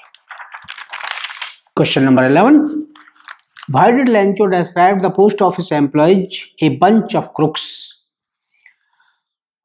were they really a bunch of crooks Lencho ने पोस्ट ऑफ़िस एम्प्लॉयज़ को बंच ऑफ़ क्यों कहा? क्या वो वास्तव में थे? Answer After opening the envelope, he found only 70 pesos instead of 100 pesos. He thought that the postal employees has taken out his 30 pesos. So he called them a bunch of crooks. But they were not a bunch of crooks indeed. Question number 12. How would you describe the post office employees? Answer the post office employees were kind, generous, and honest people. They helped a farmer in his requirement. They did not disappoint a man with utmost faith, faith in God. इसे दोबारा सुन लें they did not disappoint a man with utmost faith in God यानी उसका जो बेहद विश्वास ईश्वर में था वो उसे डगमगाना नहीं चाहते question number thirteen the post master was इसके पार्ट्स अलग अलग दिए। Number one kind A kind comma B generous C fun loving D A good worker E hard working ये उसकी क्वालिटीज दिए। अब give an example in support of your answers ये जितनी उसकी क्वालिटीज बताइए, इनके समर्थन में आप अपना आंसर दीजिए। इसका आंसर है the post master was kind because he realize the need of Lencho वह दयालु था क्योंकि वह लंचो की आवश्यकता को समझता है। He was generous as he collected money for him और वो एक दयालु आदमी था, एक उदार व्यक्ति था, क्योंकि वो लेंचो के लिए पैसा इकट्ठा करता है। And gave him and gave a part of his salary also और अपने भी तनख्वाह का एक हिस्सा उसे देता है। And he hell and he laughed heartily after seeing the letter so he was a fun loving person क्योंकि वो जब उस एड्रेस को देख के हंसता है तो वो एक मजाकिया व्यक्ति भी है। इस तरह इसका आंसर पूरा हो जाता है। And he is hard working because he collect money and he sent a letter to Lencho वो परिश्रमी इसलिए क्योंकि वो पैसे भी इकट्ठे करता है और उस लेटर को भेजता है। Question number fourteen find out the meaning of this saying inverted comma start, give a dog a bad name and hang it, comma, inverted comma closed. इस कहावत का अर्थ बताइए, इसका मतलब क्या होता है? Who is this story has a bad name इस कहानी में ये किसके विषय में बात कही गई है? Answer the dog is a faithful animal but by mistake we sometimes feel that he is unfaithful and we condemn him. कुत्ता एक बहुत वफादार जानवर होता है, लेकिन कभी कभी गलत फहमी में हम उसे बेवफा मान लेते हैं और उसे हम मार डालते हैं या भगा देते हैं। The post master though generous was mistaken by Lencho as a cheater इसी तरह जो पोस्ट मास्टर है, वो बहुत दयालु व्यक्ति है, लेकिन गलत फहमी में लेंचो उसे एक ठग मान लेता है, एक लुटेरा मान लेता है। Question number fifteen describe the view that could be seen from the house उस मकान की ऊंचाई से क्या क्या दिखाई पड़ता है, उसे बताइए। उस दृश्य को आप वर्णित कीजिए। आंसर लिखें। One could see from the house the river the fields of ripe dotted with flowers and the valley answer question number 16th why did lencho go out when it started raining? जब वर्षा शुरू होती है तो Lencho बाहर क्यों जाता है? इसका answer Lencho went out of the house because he wanted to feel the rain on his on body वो उसे शरीर पर महसूस करना चाहता है, बूंदों का आनंद लेना चाहता है, इसलिए बाहर जाता है। Question number seventeenth What did Lencho think throughout the night? Answer Lencho through all Lencho thought all through the night only about his single hope the help from God. Question number 18th. What did Lencho write in his letter to God? Answer Lencho wrote in his letter to God that he required 100 pesos to sow his fields again and to feed his family until the crops come. Because the hailstorms has been ruined his crop, he placed the stamp on the envelope and dropped it into, into the mailbox. Question number 19th. How did the postmaster collect money for Lancho? Answer The postmaster collected the money for Lancho from his employees and he himself gave a part of his salary. Question number 20th. How much money did Lancho need and how much did he received उसे कितने पैसे की ज़रूरत थी और उसे कितने पैसे मिले इसका answer needed hundred pesos but he received only seventy pesos question number twenty one what did Lencho write in his second letter to God उसने अपने दूसरे पत्र में ईश्वर को क्या लिखा था? आंसर लिखें। In his second letter to God Lencho wrote to send him the rest of money but he requested God not to send the money through the mail because the postal office officer sorry the postal employees were cheaters according to him इसे दोबारा सुन लें। In his second letter to God Lencho wrote to send him the rest of money but he requested God not to send the money through the mail because the postal employees Were cheaters according to him question twenty two what type of man was Lencho Lencho किस तरह का आदमी था answer Lencho was a hardworking man. He had utmost faith in God. He loved his family. And question number 23. Why was Lencho annoyed with the postal employees? Answer. Lencho was annoyed with the postal employees because he thought that they had taken out the money from the envelope.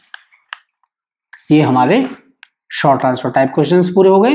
अब हम vocabulary पाते हैं।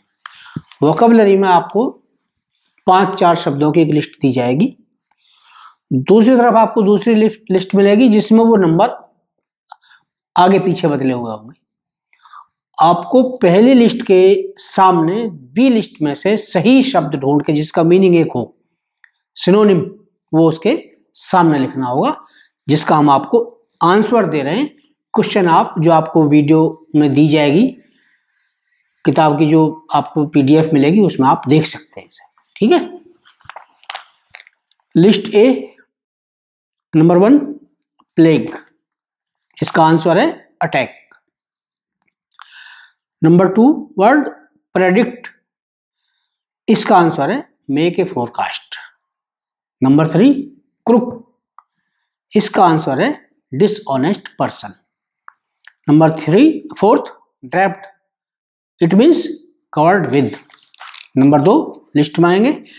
Entire it means total draped it means covered freely that means really bunch that means group list number three evident clear solitary lonely conscience the inner soul crest it means peak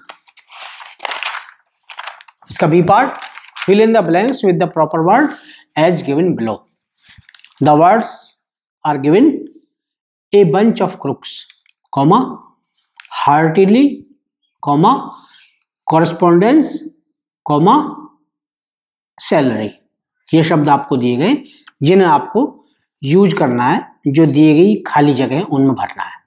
तो हम answer देते हैं। पहला the post master laughed sorry हाँ the post master laughed heartily number दो the government servants get salary on the first day of each month number तीन Lencho wanted to make a correspondence with God और number चार nowadays you can easily find a bunch of crooks everywhere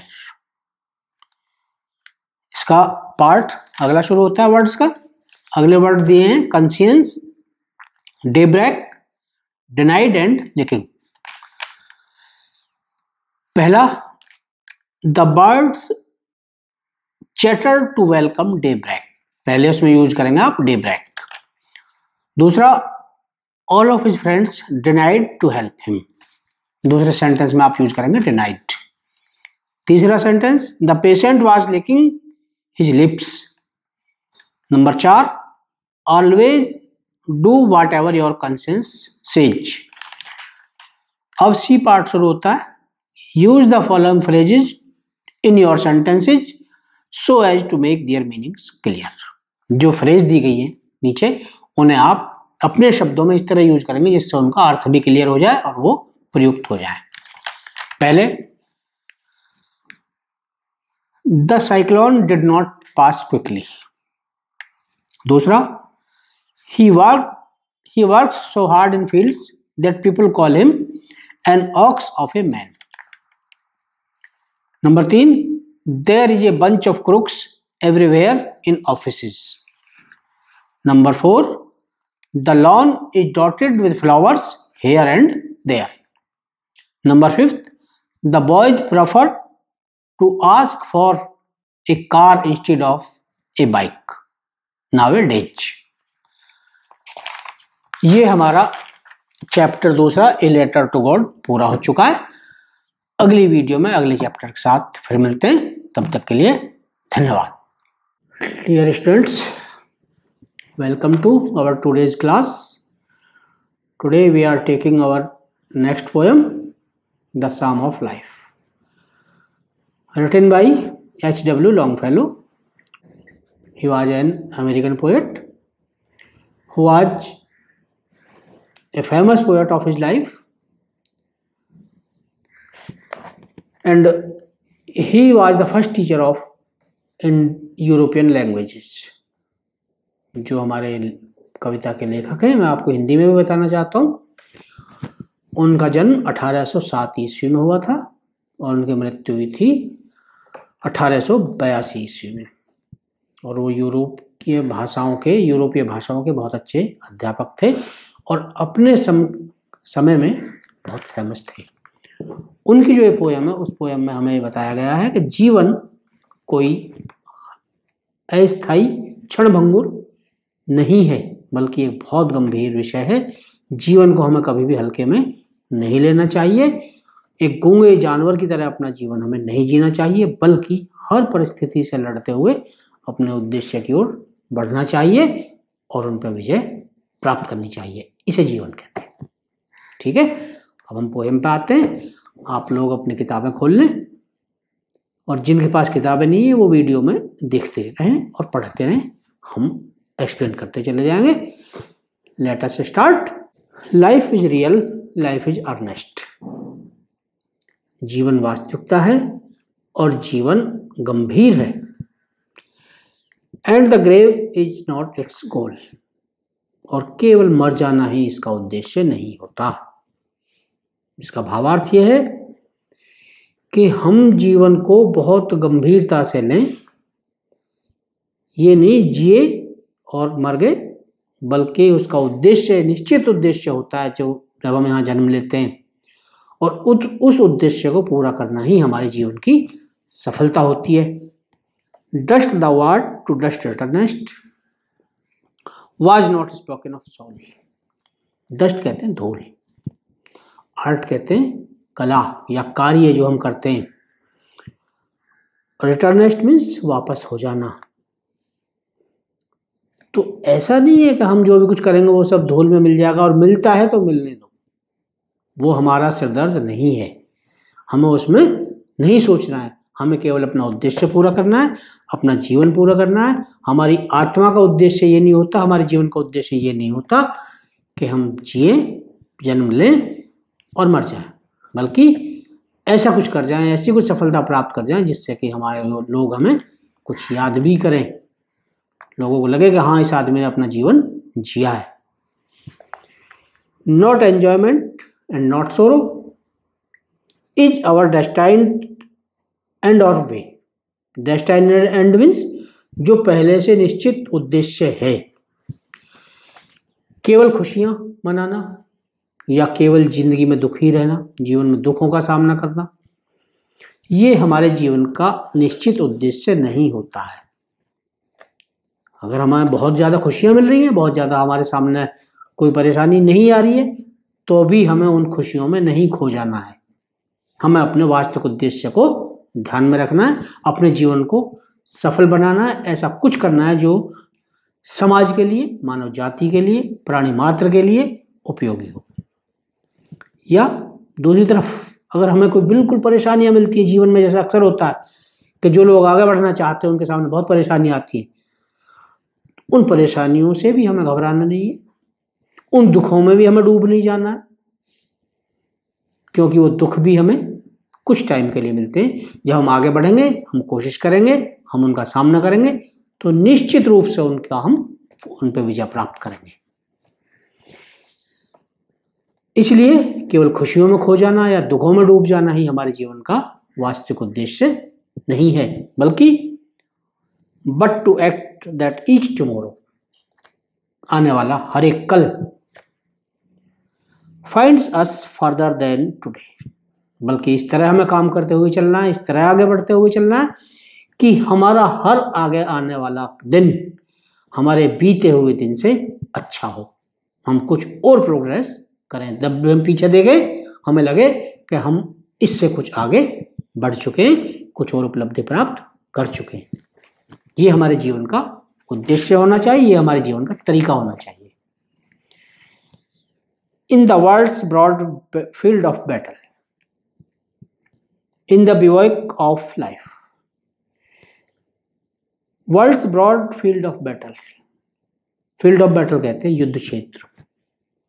World's broad field of battle means संसार रूपी युद्ध क्षेत्र। आप लोगों ने कहानियों में सुना होगा, अपने दादा दादियों से भी सुना होगा कि जीवन एक बहुत बड़ा संघर्ष होता है और हम इस संसार में जन्म लेते तो कुछ सुधार करने के लिए, कुछ उद्देश्य प्राप्त करने के लिए, हर आदमी को यहाँ भेजा जाता है तो कुछ करने के लिए किसी का जीवन निरुद्देश्य नहीं होता है।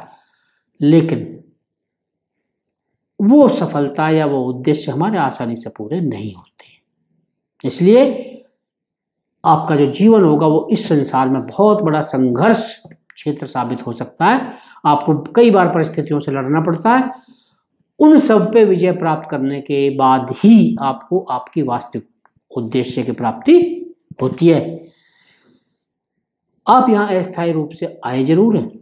अस्थाई मीन्स वियोग मीन्स अस्थाई शिविर। जो पड़ाव होता है सैनिकों का, उसके लिए वियोग यूज़ होता। है लेकिन यहाँ इसका मतलब है कि हम जो यहाँ आए हैं, जो हमारी उम्र है, पचास साल हो, सौ साल हो, साठ साल हो, निश्चित है कि हम आए हैं, हमें जाना है। लेकिन उसे इतने हल्के में नहीं लेना कि यार चले जाएँगे, ज़िंदगी पूरी कर लेंगे, हो जाएगा। नहीं। उस टाइम का हमारा कोई उद्देश्य होता है। हम जब तक इस दुनिया में रहते हैं, हमें कुछ करना चाहिए। और ऐसा कुछ करना चाहिए जिससे कि हम मनुष्य जाति का, मानव जाति का या प्राणी मात्र का कुछ भला कर सके। ये हमारे जीवन का उद्देश्य होता है। Be not like dumb driven cattle dumb कहते हैं गूँगा। ड्राइवन कैटल मीन्स पशु जो होते हैं, जो वहाँ के जाते हैं, भेड़ बकरियों की तरह। हमें अपना जीवन भेड़ बकरियों की तरह गूँगे रह के नहीं होना, जीना है। कि जो गुजर रही है, गुजरने दो, हमें कुछ नहीं करना है। कोई हमारे सामने जरा सी कठिनाई आ गई भाई हम क्या कर सकते हैं? परिस्थितियाँ हैं। नहीं, ऐसा नहीं। उन परिस्थितियों से हमें संघर्ष करना है। बी ए हीरोइन स्ट्राइफ जैसी परिस्थितियाँ हमारे सामने आती हूँ, वैसे ही हमें मजबूती से उनका सामना करना है और उसके साथ साथ हमें विजय प्राप्त करनी है और फिर आगे बढ़ना है। तभी हम अपना उद्देश्य प्राप्त कर पाएँगे और अपना जीवन सफल कर पाएँगे। Let us then be up and doing तो चलिए हम खड़े होते हैं और काम करते हैं अपना। With a heart for any fit heart means दिल। यहाँ दिल मीन मीन्स मन। एनी फिट मीन्स हर परिस्थिति के लिए, हर तरह के भाग्य के लिए हमें अपने अंदर साहस पैदा करना है, शक्ति पैदा करनी है कि चाहे जो भी परिस्थिति हो जाए, हमें हार नहीं माननी है। हमें उन पर विजय प्राप्त करनी ही है। और ये इतिहास गवाह है कि जब जब मनुष्य ने ठान लिए वो किसी परिस्थिति के सामने नहीं झुका है। हर कठिनाई पर मनुष्य ने विजय प्राप्त किए। स्टिल अचीविंग स्टिल परसुइंग लगातार हमेशा प्राप्ति कर, उपलब्धि प्राप्त करते हुए, अपने प्रोग्रेस करते हुए और हमेशा अपने उद्देश्य का पीछा करते हुए। परसुइंग मीन्स पीछा करना, अपने उद्देश्य का, अपने जो हमारा टारगेट है, जो हमारा गोल है, उसका पीछा करते हुए। Learn to labour and to wait labour माने मेहनत करना और वेट माने इंतज़ार। तो हम मेहनत करने की सीख लें, मेहनत करें और उसके परिणाम का इंतज़ार करें, रिज़ल्ट का वेट करें। लगातार उपलब्धियाँ प्राप्त करते चले जाएँ और मेहनत करते चले जाएँ और उस मेहनत का परिणाम आने का बड़े शांतिपूर्वक, बड़े धैर्यपूर्वक हम प्रतीक्षा करनी, इंतज़ार करना भी सीखते रहें और अपने जीवन को आगे बढ़ाते रहें। यही हमारे इस पोएम का उद्देश्य था, यही इसका मतलब है। ठीक है? आशा है आपके समझ में आया होगा। नहीं आया तो इस वीडियो को आप दोबारा से देख लें। पोएम हमारी पूरी हो चुकी है। डियर स्टूडेंट्स गुड मॉर्निंग पिछली क्लास में हमारी दूसरी poem the psalm of life पूरी हो गई है। आशा है आपको समझ आई होगी। आज हम इसके क्वेश्चन आंसर लेंगे। आप लोग अपनी नोटबुक्स और पेन ले लें और मेरे साथ करें। पोएट्री में आपको दो दो नंबर के दो क्वेश्चन आएँगे स्टेंजा बेस्ड उसमें से आपको उनका उत्तर देना है, जो चार नंबर के दो क्वेश्चन होंगे। और एक क्वेश्चन आपका तीन नंबर का आएगा, जिसका उत्तर आपको लगभग चालीस वर्ड्स में देना होगा। उसमें आपको पोएम का सेंट्रल आइडिया पूछा जाएगा। या उसके विकल्प में आपको आएँगी किसी पोएम की चार लाइन जो पेपर में ना आई हो। तो उसमें से आप किसी भी अपनी टेक्स्ट बुक में से किसी भी कविता की चार लाइन उसमें लिख देंगे तो भी आपका वो क्वेश्चन पूरा हो जाएगा। ठीक है? अब हम शुरू करते हैं। The first stanza and first words life is real dot dot dot spoken the soul. इसका पहला क्वेश्चन है what is life and what is its goal जीवन क्या है और इसका उद्देश्य क्या है? तो इसका आंसर आप लिखेंगे life is real life is earnest and only to die is not its goal question number two What was spoken of the soul? इसका आंसर है The soul is immortal, the soul never dies. So the words dust thou art and to dust returnest are not words spoken for the soul. Question number three. What are the qualities of life इसका answer है the life is real the life is earnest question number four what does the poet means by the saying dust the what to dust returnest तो इसका answer है the poet means by saying inverted comma start dust the what comma to dash returnest comma is closed it means our body is made of soil and it will mix in the soil after the death अर्थात, हमारे जो शरीर है, वो मिट्टी से बना होता है। और मरने के बाद उसे मिट्टी में ही मिल जाना होता है। Question number five what does the word dust stand for in the stanza the answer the word dust stand for number one earth number two water number three sky number four air and number five the fire stanza two stanza two starting words are not enjoyment dot dot dot farther than today last words farther than today question number one of stanza two write the name of the poem from which the above stanza has been taken and who is the poet of the given poem answer the name of the poem from which the above stanza has been taken is the psalm of life and the name of the poet is H.W. Longfellow. Question number 2. What does the poet says about the first two lines in the stanza? Answer. In the first two lines, the poet says that the goal of our life is not only to die or to be grieved or to be only happy. Question number 3. What is the goal of our life? Answer To act for our progress and prosperity is the goal of our life. Question number 4. What is the meaning of destined in the? जो इस stanza में destined शब्द दिया गया उसका मतलब क्या है answer destined means the pre decided aim of the life question number five how should we act in our life answer we should act in our life to make our future bright and happy question number six pick out the rhyming words in the above stanza इसका answer है the rhyming words are way and today stanza number three starting words are in the world dot dot dot last words are in the strife question number one what has the word been compared in the given stanza? And what meet by the world bivouac इस stanza में world की संसार की तुलना किससे की गई है? और बिवक वर्ड का मीनिंग क्या है? तो इसका आप आंसर लिखेंगे।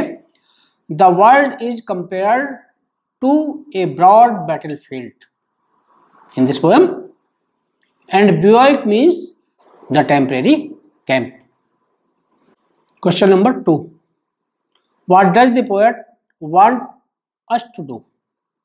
इसका answer the poet wants us to struggle like a hero with the difficulties of our life. Question number three How can we become a hero? Answer We can become a hero by facing the struggle of life bravely. Question number four What does the poet not want us to be? Answer The poet does not want us to be like dumb driven kettles. Question number 5. Point out the rhyming words in the above stanza. Answer The rhyming words are life and strife. Stanza four start होता है। Starting words are let us then. Dot dot dot. Last words are and to wait question number one. What does the poet mean by the phrase be up and drink what do words heart and fate mean here answer By the given phrase, the poet means that we should do our work and the word heart means courage and the word Fate means result. Question number 2. What do we learn from this above stanza? Answer. According to the poet, we should learn to work hard and to wait for the result patiently. Question number 3. Point out the rhyming words. Answer. The rhyming words are fate, and wait आपके stanza based questions पूरे हो गए अब हम appreciation based question लेंगे तो appreciation of the poem शुरू करते हैं question number one what should be the aim of our life? Answer The aim of our life should be to work hard for making a happy future. Question number two What does the poet think about life? Answer The poet thinks about life that the life is real and has a predecided goal. Question number three What is said about the body and soul? Answer the poet says that the body is mortal, but the soul is immortal. The body will die one day, but the soul never dies. Question number 5. What does the poet advise us? Answer. The poet advises us to face the struggle of our life bravely. Question number 6. Write the central idea of the poem. Poem का central idea आप लिखेंगे answer the poem the psalm of life is written by H W Longfellow and the central idea of the poem is as following the life is real The life has our destined goal. The poem tells us that the life is a serious thing. It should not be wasted in joy or in sadness only. We should not be like a dumb driving cattle, but we should be a hero in our life who works hard and wait patiently for a happy future as a result of his working hard, of his labour तो ये हमारे question answer थे दूसरे poem के, जो पूरे हो चुके हैं। आशा है आप समझ गए होंगे। नहीं समझ आए वीडियो को दोबारा देखें, फिर से देखें और इसे याद कर लें। अगली वीडियो में फिर मिलते हैं। तब तक के लिए goodbye dear students welcome to our today's class. Today we are starting our poetry. Our first poem is the fountain written by james russell lowell have your books and read with me.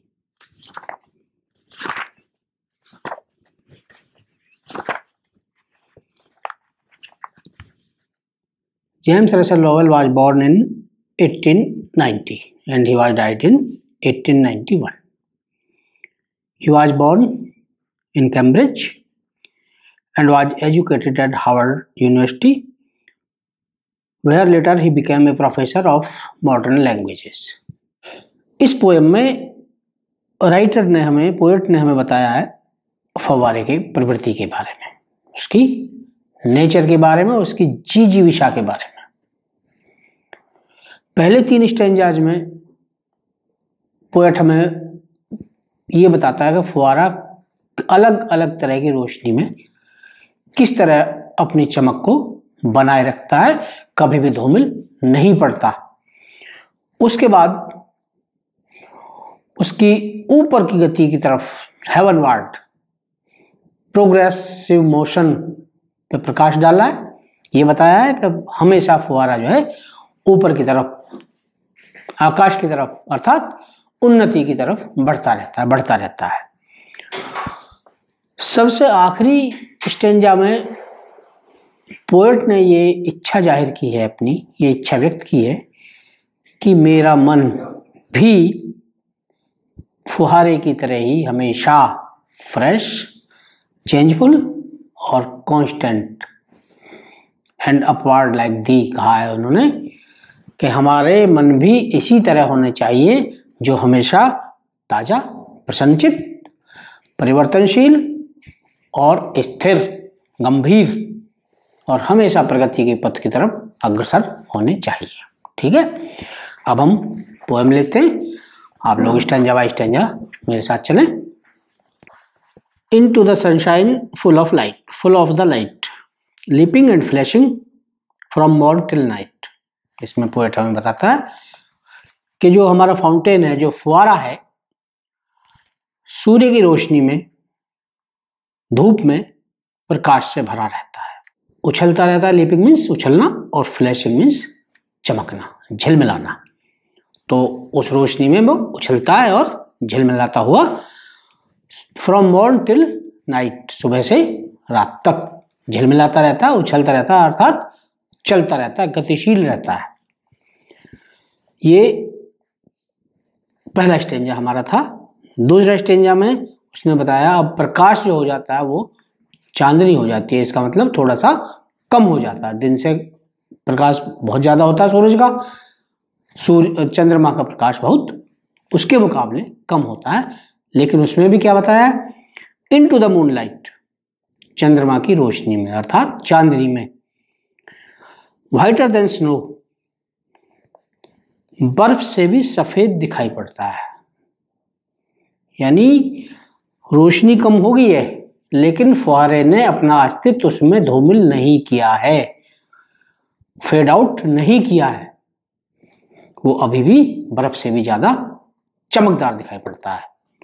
Waving so flower like when the winds blow और जब हवा चलती है हवा चलने के साथ साथ जैसे फूल हिलता है यूँ इस तरह उसकी जो पानी की धार है जो पड़ती है ऊपर ऊपर से, वो ऐसे हवा में हिलती है, जो हमें फूल की तरह दिखाई पड़ती है।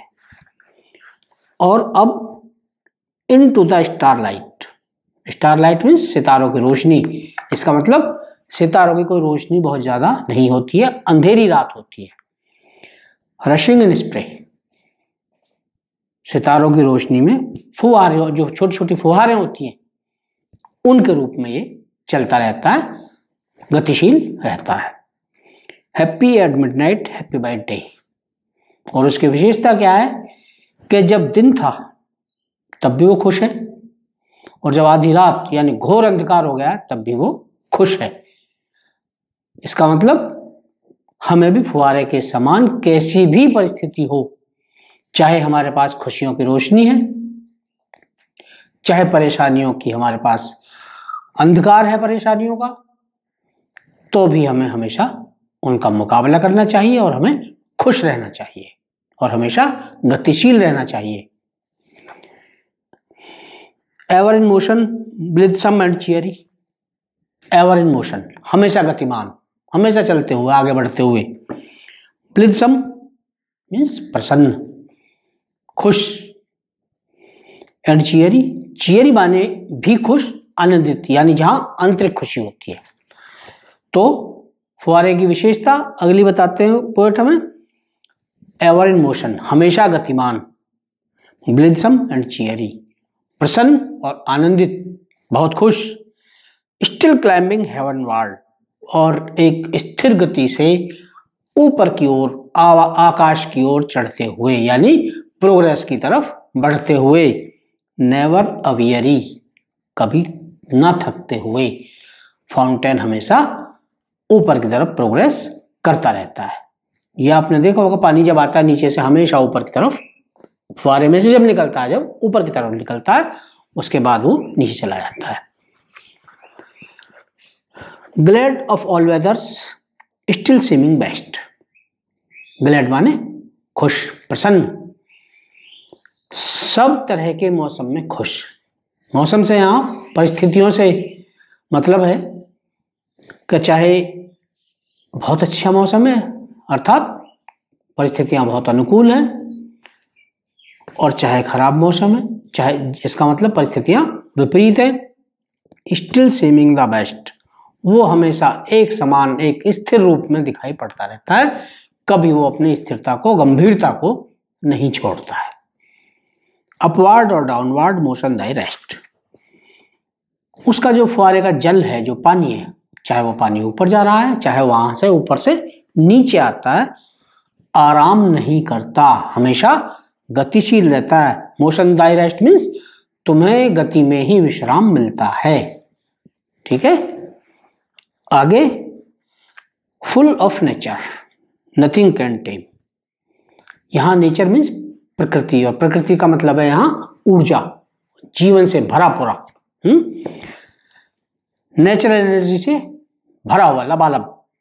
तो हमारा जो फुआरा है वो प्राकृतिक ऊर्जा से, प्राकृतिक शक्ति से, जीवन की ऊर्जा से भरा हुआ है। नथिंग कैन टेम कोई भी शक्ति, कोई भी परिस्थिति उसे अपने वश में नहीं कर सकती, उसकी गति को नहीं रोक सकती। Change every moment, ever the same. हमेशा बदलता हुआ, हर क्षण बदलता हुआ और फिर भी एक जैसा दिखाई देने वाला। इस लाइन को आप दोबारा देखें। यहाँ थोड़ा विरोधाभास आया है। चेंज्ड एवरी मोमेंट हर क्षण बदलने वाला एवर दी सेम और फिर भी एक जैसा रहने वाला। तो ये थोड़ा विरोधाभास है, इसका मतलब उसमें जो पानी आता है, फुहारे में आप थोड़ा इमेज करें, वो हर पल नया पानी आता रहता है, पुराना पानी जाता रहता है। नीचे से ना ताज़ा आया और नीचे उसमें चला गया। तो वो चेंजफुल हो गया। लेकिन एवर द सेम जो हमें फुहारे की आकृति नज़र आती है, जो भी वो फूल जैसा लगता है, जो उसके डिज़ाइन नज़र आती है, वो हमेशा बिल्कुल एक जैसी दिखाई पड़ती है, उसमें कोई परिवर्तन नहीं होता है। तो इस तरह ऊपर से वो बिल्कुल एक जैसा दिखाई देता है और अंदर से उसमें पानी का चेंज होता रहता है। इसका मतलब हमें भी फुहारे की तरह अपने विकास के रास्ते पर चलने के लिए परिवर्तन तो करते रहने चाहिए। चाहे हम अपने रास्ते बदल दें, चाहे हम अपने तरीके बदल दें, चाहे हम अपने प्रयास बदल दें, जैसे भी हम कर रहे हैं, लेकिन एवर द सेम। कांस्टेंट रूप से हम कोशिश करते रहें, उसी स्पीड से, उसी तरीके से आगे बढ़ते रहें। ये हमें फुआरा कहता है। Ceaseless aspiring ceaseless content ceaseless means निरंतर, बिना रुके। एस्पायरिंग माने ऊपर उठना। इट मीन्स प्रोग्रेसिव नेचर तो कहता है कि फुहारे की जो प्रवृत्ति होती है, जो उसकी नेचर होती है, वो प्रोग्रेसिव होती है। हमेशा ऊपर उठते रहने की होती है। सीजलेस कंटेंट और वो संतुष्ट भी दिखाई देता है। अपनी सीमाओं से बाहर नहीं जाता, कभी भी करता नहीं है। अपनी सीमाओं में बंधा हुआ, अपनी मर्यादाओं में बंधा हुआ, संतुष्ट, खिलता हुआ अच्छा प्यारा सा फुहारा नज़र आता है। डार्कनेस और सनशाइन दाई एलिमेंट चाहे अंधेरा हो, चाहे धूप हो, तुम हमेशा अपने जीवन से जुड़े रहते हो, अपनी जीवंतता को दिखाते रहते हो, हमेशा चलते रहते हो। ग्लोरियस फाउंटेन ग्लोरियस मीन शानदार। कवि कहते हैं, शानदार फुहारा। हे शानदार फुहारे लेट माई हर्ट बी मेरे दिल को भी, मेरे मन को भी ऐसा ही होने दो, ऐसा ही बना दो। Fresh changeful constant upward like thee fresh means खुश, ताज़ा। चेंजफुल परिवर्तनशील। जो मैं आवश्यकता के अनुसार परिवर्तन भी कर सकूँ, क्योंकि जहाँ परिवर्तन नहीं होते हैं वहाँ विकास नहीं होते। और कांस्टेंट कांस्टेंट मीन्स धीर गंभीरता लिए हुए, एक स्थिर रूप से बिना विचलित हुए अपने रास्ते पे अपवार्ड लाइक दी ऊपर की तरफ़ प्रोग्रेस की तरफ़ बढ़ता हुआ तुम्हारी तरह ही प्रोग्रेसिव रहूँ, ऊपर तरक्की की तरफ़ चलता रहूँ। ये हमारी पोयम थी। आशा है आपको समझ आई होगी। नहीं आई है, आप वीडियो दोबारा देख लें। अगली वीडियो में इसके हम क्वेश्चन आंसर लेकर आएँगे। तब तक के लिए बाय थैंक यू प्यारे बच्चों, आज के क्लास में आपका स्वागत है। पिछली क्लास में हम अपनी पोयम द फाउंटेन कंप्लीट कर चुके हैं। आज की आज की क्लास में हम उसके क्वेश्चन आंसर करेंगे। मैं आपको क्वेश्चन आंसर बोलता हूँ, आप भी नोट करते चलें और फिर उन्हें याद कर लें। ठीक है? शुरू करते हैं, आप भी शुरू करें। इसमें मैं आपको ये बताना चाहूँगा कि दो क्वेश्चन आएँगे पोएट्री में से आपके। पहले दो क्वेश्चन स्टेंजा बेस्ड होंगे, जो दो दो नंबर के आपको करने होंगे। स्टेंजा बेस्ड ही उसका आंसर होगा। दूसरा क्वेश्चन में आपको सेंट्रल आइडिया लिखना होगा, लगभग फोर्टी वर्ड्स में, या उसकी जगह आपको अपनी टेक्स्ट बुक में से किसी भी पोएम की चार लाइन लिखनी होगी। ये आपकी चॉइस होगी। इस तरह के आपके क्वेश्चन आएँगे। तो अब आप अपना नोटबुक्स ले लें और तैयार क्वेश्चन नंबर, मेरे साथ क्वेश्चन आंसर करते चलें।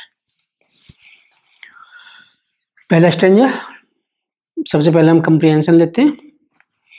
Stanza first starting words are into the sunshine dots dot dot last words are from morn till night इसमें पहला क्वेश्चन है how does the fountain appear in the sunshine धूप में फुआरा कैसा चमकता है? इसका आंसर है the fountain appears full of light in the sunshine आगे, दूसरा क्वेश्चन है, What does the poet describe in the above lines? ऊपर की लाइंस में जो अभी हमने पढ़ी हैं जो आपके पोएट्री में पहले स्टैंड के ऊपर की लाइन है, उसमें पोएट ने क्या वर्णन किया है? तो इसका आप लिखेंगे the poet describes in the above lines that the fountain is leaping and flashing from morn till night एक बार फिर सुन लें। The fountain in these lines the above lines the poet describes that the fountain is leaping and flashing from morn till night इसमें last question होगा। Pick out the words which has the same rhythm उसके लिए आप कि जो पहला stanza है, उसमें सेम राइम वाले वर्ड्स हैं लाइट एंड नाइट ये दोनों शब्द इस तरह के जो बोलने में एक जैसी ध्वनि देते हैं, लगभग light and night stanza two stanza two में हमारा शुरू के शब्द हैं in the moonlight dot dot dot last words are when the winds blow इसमें आपका पहला question how does the fountain look like in the moonlight इसमें आप उत्तर लिखेंगे the fountain looks like whiter than snow in the moonlight फिर से सुने? In the moonlight the fountain looks like snow अगला question number two what kind of movement does the word waving suggest waving से किस तरह की गति का भान होता है? किसकी तरफ़ संकेत होता है? इसका दूसरा पार्ट है what is meant by the word so used in the third line तीसरी लाइन में जो सो शब्द इस्तेमाल किया गया है, उस सो का मतलब क्या है? इसका उत्तर the word waving suggest to and fro जो वेविंग शब्द हमारा आया है, इस लाइन में उसका मतलब होता है इधर और उधर। टू एंड फ्रो मीन्स इधर उधर। और the so word means like समान सो शब्द का जो मतलब है, वो है समान। लाइक ठीक है? अगला नंबर तीन। What colour is the fountain in moonlight what is the significance of the word into in first line इसमें पूछता है कि चांदनी में फुहारे का रंग कैसा होता है। दूसरा पार्ट इस क्वेश्चन का, कि सबसे पहले जो शब्द यूज़ हुआ है into the moonlight इसमें इन टू का क्या मतलब है? तो इसका आंसर है the colour of fountain in the moonlight is whiter than snow बर्फ़ से भी सफ़ेद दिखाई देता है चांदनी रात में और the word into means wrapped in covered with इसका मतलब है कि इनटू का मतलब है लिपटा हुआ। इनटू द मूनलाइट मीन्स चांदनी में लिपटा हुआ, चांदनी से ढका हुआ। आंसर क्लियर होगा होगा? एक बार फिर सुन लें। The word waving suggest to and fro, इधर और उधर। And the word into means wrapped in या कवर्ड विद, लिपटा हुआ या ढका हुआ। ठीक है? Question number four. Question number four में हम चलते हैं। What is the effect of moonlight on the fountain चांदनी का फुआरे पर क्या प्रभाव पड़ता है? तो इसका प्रभाव ये पड़ता है in the moonlight the fountain is looking whiter than snow ठीक है? In the moonlight the fountain is looking whiter than snow चांदनी का फुआरे पर यह प्रभाव पड़ता है कि वो बर्फ़ से भी ज़्यादा सफ़ेद दिखाई पड़ता है। Question number five what happens when the winds blow क्या होता है जब हवा चलती है? इसका उत्तर है when the winds blow the fountain waves like a flower when the winds blow the fountain waves like a flower एक फूल की तरह फुहारा हिलता है। स्टेंजर नंबर थ्री इसके फ़र्स्ट वर्ड्स हैं the starlight dot dot dot. Last words are, happy by day. इसका पहला question how do you know that the fountain is always happy आप कैसे जानते हैं कि फुहारा हमेशा खुश रहता है? इसका आंसर है the fountain move up and up all the time it shows that fountain is always happy क्योंकि फुहारा लगातार ऊपर की ओर चलता रहता है ये इस बात का संकेत है, ये हमें बताता है कि फुहारा हमेशा प्रसन्न रहता है, खुश रहता है। Question number two which quality of fountain effects the poet फुहारे की कौन सी क्वालिटी कौन सी विशेषता कवि को प्रभावित करती है? इसका उत्तर the quality of the fountain is to be happy in all weathers which affects the poet हर परिस्थिति में खुश रहने की जो फुहारे की क्वालिटी है, विशेषता है, वो हम, कवि को हमेशा प्रभावित करती है। Question number three what do understand by the word spray use in the poem इस पोएम में जो स्प्रे शब्द यूज़ किया गया है उसका क्या अर्थ है, उससे हम क्या समझते हैं? Answer the word spray use in the poem tells us that the fountain spreads its happiness in all the directions ये जो स्प्रे शब्द है, इसका ये मतलब है इसमें कि फुआरा अपनी खुशियों को चारों दिशाओं में, सभी दिशाओं में बिखेरना चाहता है। Stanza four. Ever in motion dot dot dot last words never aweary इसका पहला question how does the fountain remain in motion ये जो फुआरा है, ये किस तरह गतिमान रहता है? तो इसका आप उत्तर लिखेंगे the fountain remains in motion blithesome and cheery the fountain remains in motion blithesome and cheery वो गतिमान रहते हुए खुश और प्रसन्न नज़र आता है। Question number two in which direction does the fountain climb फुआरा किस दिशा में चढ़ता रहता है? इसका आंसर है, the fountain climbs up to heavenward वो हमेशा स्वर्ग की तरफ़, आसमान की तरफ़, आकाश की तरफ़ उठता रहता है, चलता रहता है। Question number three what lesson can we learn from the constantly heavenward moving fountain हम लगातार ऊपर की तरफ़ चलते रहने वाले फुहारे से क्या सीख सकते हैं? तो इसका आंसर है we can learn from the constantly heavenward moving fountain that we should also work hard to achieve our goals question number four why has the fountain been called ever in motion fountain को फुआरे को हमेशा गतिवान, गतिशील क्यों पुकारा गया, क्यों कहा गया है? तो इसका मतलब है the fountain has been called ever in motion because it never step stops and moves upward every time. Because it never stops and moves upward every time. ये हमेशा गतिशील रहता है, हमेशा ऊपर की तरफ़ चलता रहता है, इसलिए फुहारे को एवर इन मोशन कहा गया है। Question number five describe the qualities of fountain as mentioned in the above noted stanza दिए गए स्टेंजा में जो फुहारे की क्वालिटी बताई गई है, जो फाउंटेन की क्वालिटीज बताई गई हैं, उन्हें बताइए, उनका वर्णन कीजिए।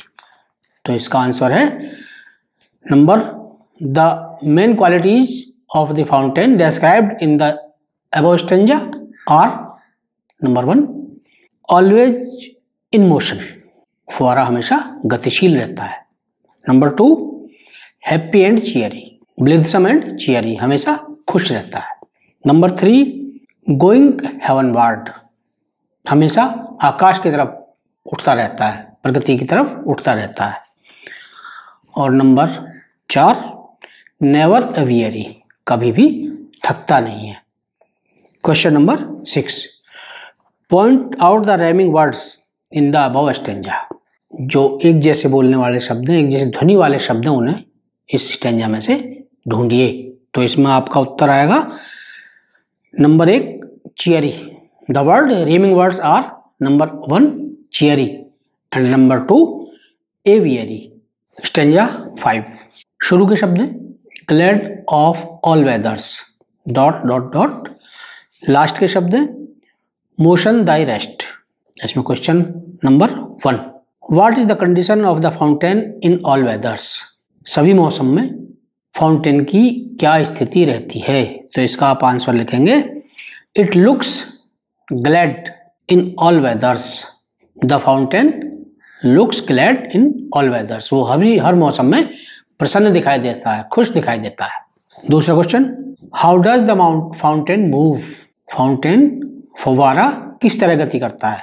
The fountain moves upwards and downward फुहारा जो गति करता है ऊपर जाता है एक बार, फिर नीचे करता है। एक बार पानी ऊपर जाएगा, फिर नीचे आएगा। तो इसकी गति होती है upward and downward question number three what does the poet meet by the line motion thy rest ये जो शब्द है मोशन दाई रेस्ट से पोएट का, कवि का क्या मतलब है? The fountain never takes rest always remain in motion This is the meaning of the poet by the words motion thy rest यानी वो गति में ही आराम करता है। कभी फुहारा थकता नहीं है, रुकता नहीं है, हमेशा चलता रहता है। इसलिए कवि ने कहा है motion thy rest question number four what lesson does the poet want to give you in the above stanza ऊपर वाले स्टेंजा में पोएट हमें क्या शिक्षा देना चाहता है?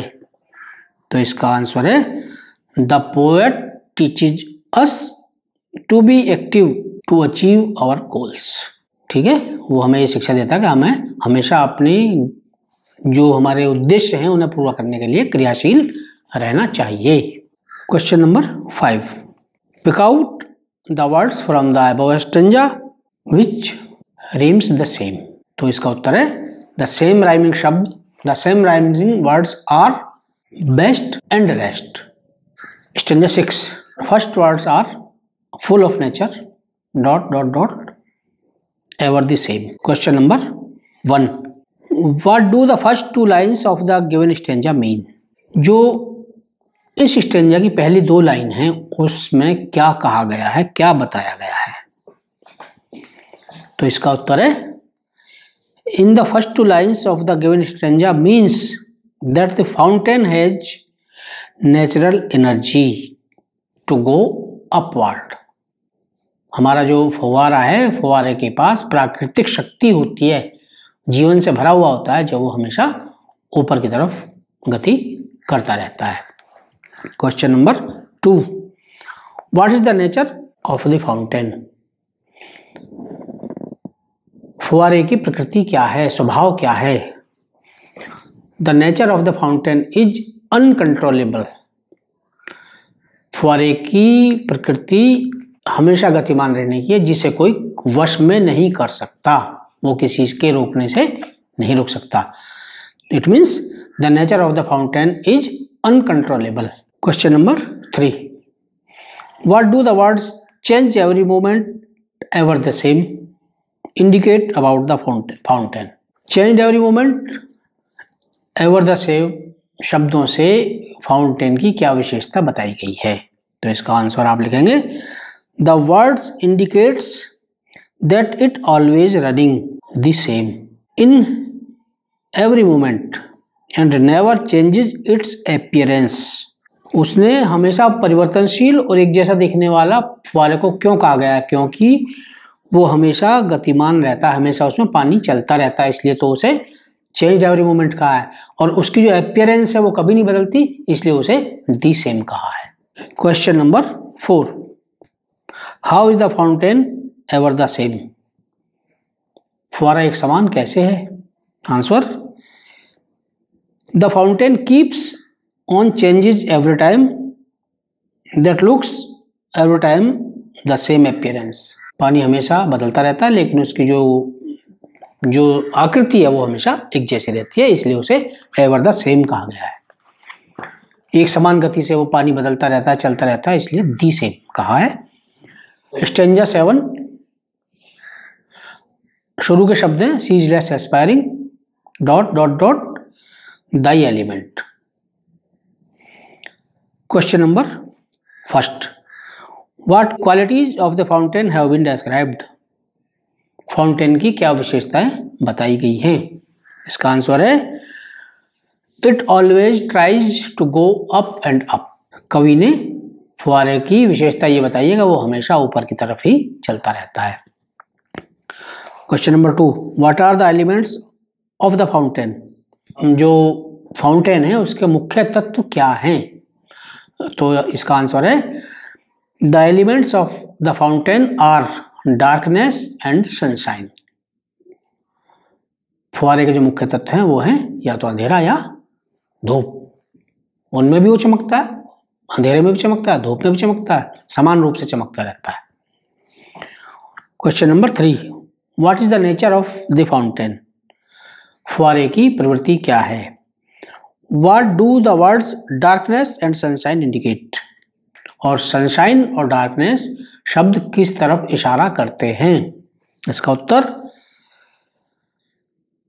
the nature of the fountain is to go up without stopping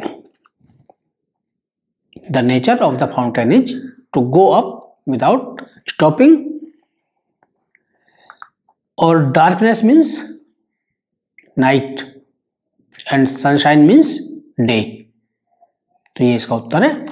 Question number five pick out the rhyming words in the above stanza ऊपर के स्टेंजा में एक जैसे समाना, समान ध्वनि वाले शब्द ढूंढिए तो इसका अंतर है the rhyming words in the above stanza are content and element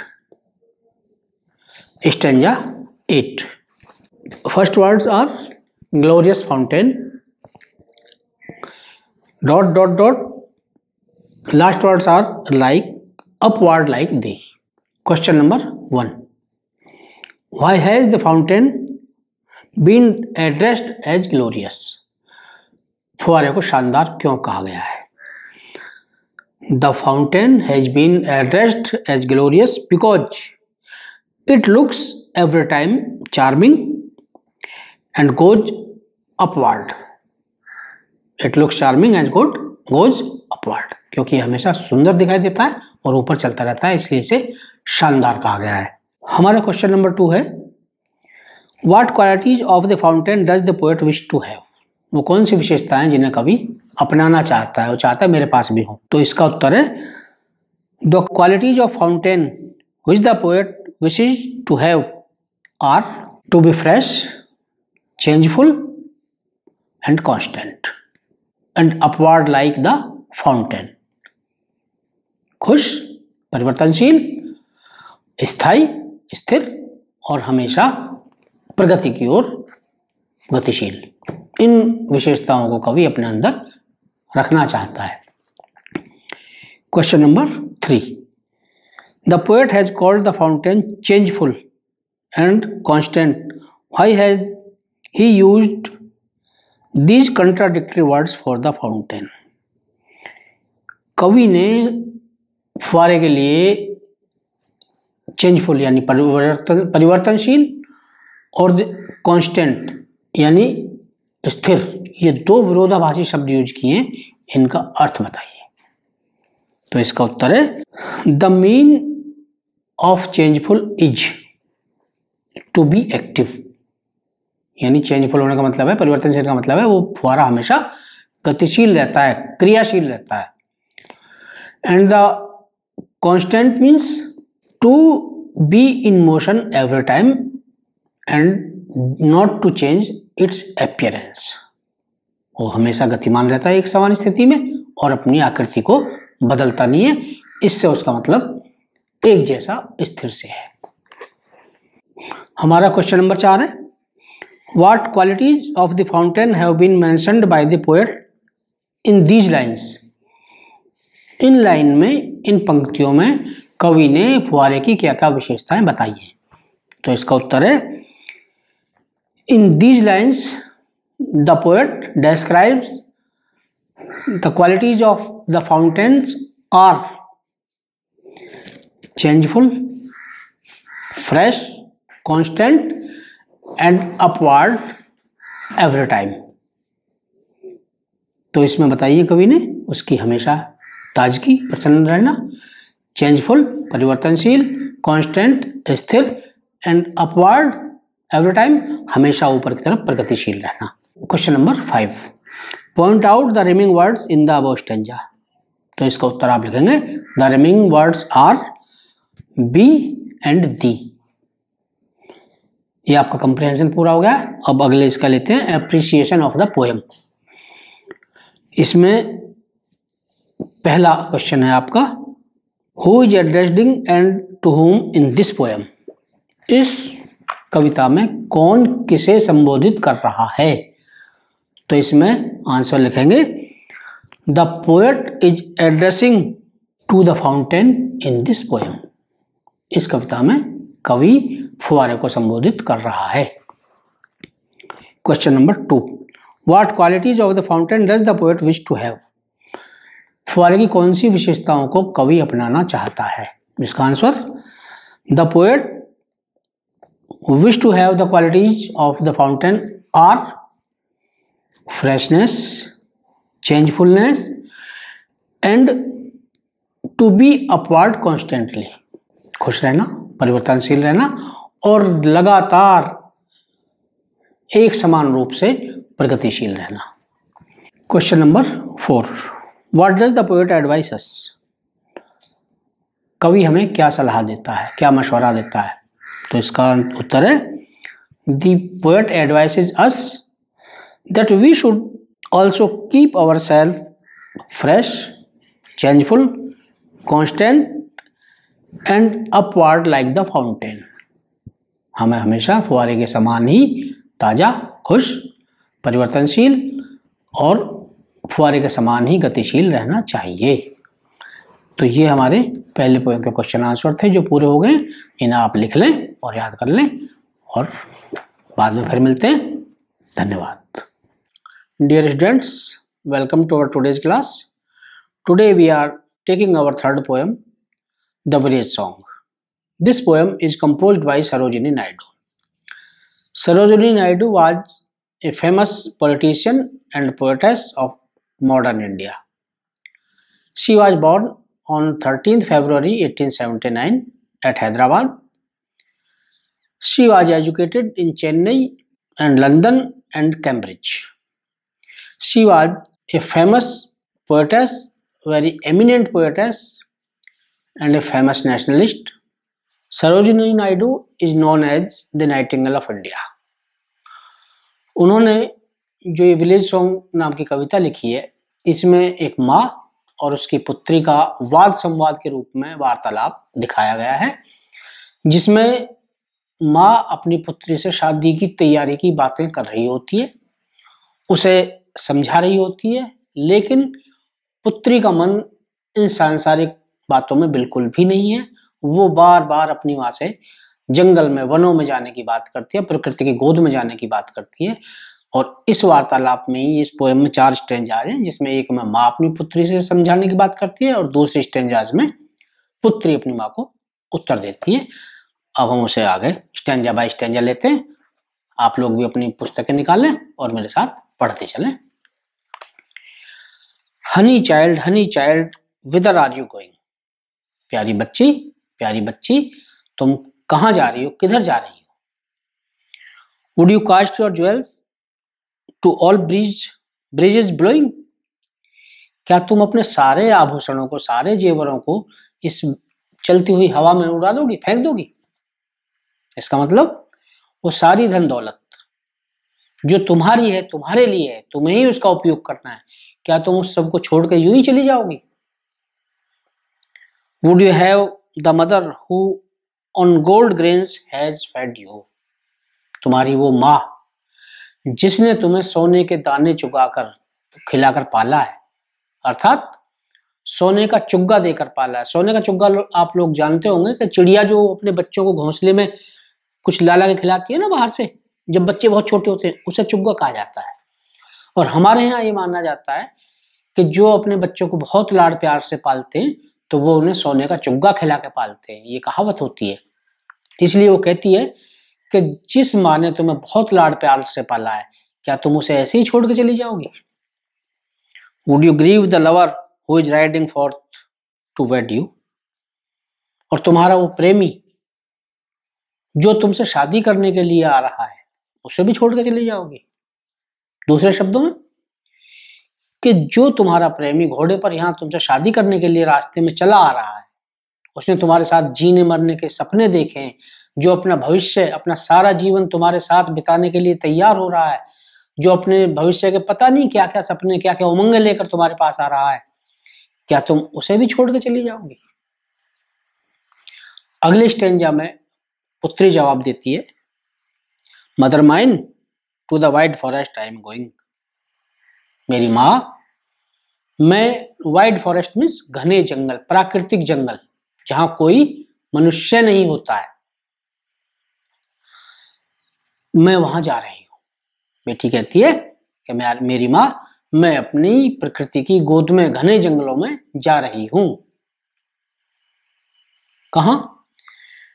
Where upon the champa boughs the champa birds are blowing वहाँ, जहाँ चंपा की शाखाओं पर चंपा की कलियाँ हिल रही हैं, चहक रही हैं, चटक रही हैं, मैं वहाँ जा रही हूँ। दूसरे शब्दों में हम ये कह सकते हैं कि वो बच्ची कहती है कि जहाँ रंग बिरंगे फूल खिल रहे हैं रंग बिरंगी चट कलियाँ चटक रही हैं, बिल्कुल प्राकृतिक वातावरण है, मैं वहाँ जा रही हूँ। To the koel haunted river isles where lotus lilies glisten ऐसी जगह मैं जाना चाह रही हूँ, मैं वहाँ जा रही हूँ, जहाँ koel haunted river isles where lotus lilies glisten.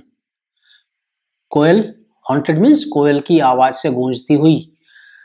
नदी के किनारे के टापुओं में जहाँ कुमुदनी के और कमल के फूल खिल रहे हैं, मैं वहाँ जा रही हूँ। अर्थात, मैं वहाँ जा रही हूँ जहाँ कोयल की आवाज़ इतनी मधुर है, पक्षियों के कलरव इतने प्यारे हैं कि वो हम सब चीज़ को वहाँ सम्मोहित कर लेते हैं। एक सम्मोहन भरी आवाज़, एक कोयल की सम्मोहन भरी कूक जहाँ है और जहाँ बहुत रंग बिरंगे फूल अपनी छटा बिखिर रहे हैं, कहीं कमल खिल रहे हैं, कहीं कुमुदनियाँ खिल रही हैं, मैं वहाँ जा रही हूँ। The voice of the fairy folk are calling me o listen वो कहती है कि जो परी कथाओं की आवाज़ें हैं, आप ध्यान से सुनो, मैं वहाँ जा रही हूँ। अर्थात वो लड़की कहती है अपनी माँ से कि मुझे परी कथाओं की आवाज़ें, यहाँ की आवाजों से ज़्यादा अच्छी लगती हैं। मुझे परी कथाओं की आवाज़ें बुला रही हैं, मुझे वहाँ जाना है, आप भी सुने। आपको भी वो सुनाई देगी तो मुझे वहाँ जाना है। फिर माँ कहती है अपनी बेटी को, फिर समझाने की कोशिश करती है और कहती है honey child honey child the world is full of pleasure प्यारी बच्ची, मेरी प्यारी बच्ची ये संसार आनंद से भरा हुआ है, खुशियों से भरा हुआ है। Of bridal songs and cradle songs विवाह के गीत, शादी के गीत और पालने के गीत अर्थात लोरियाँ and sandal scented leisures sandal कहते हैं चंदन की खुशबू और लेजर्स कहते हैं आराम, शांति, विश्राम, फुर्सत जिसे हम कह देते हैं। तो माँ कहती है कि बेटी, ये दुनिया, ये संसार गीतों की उमंग भरी आवाजों से शादी के उमंग भरे गीतों से ममता भरी लोरियों से भरा हुआ है।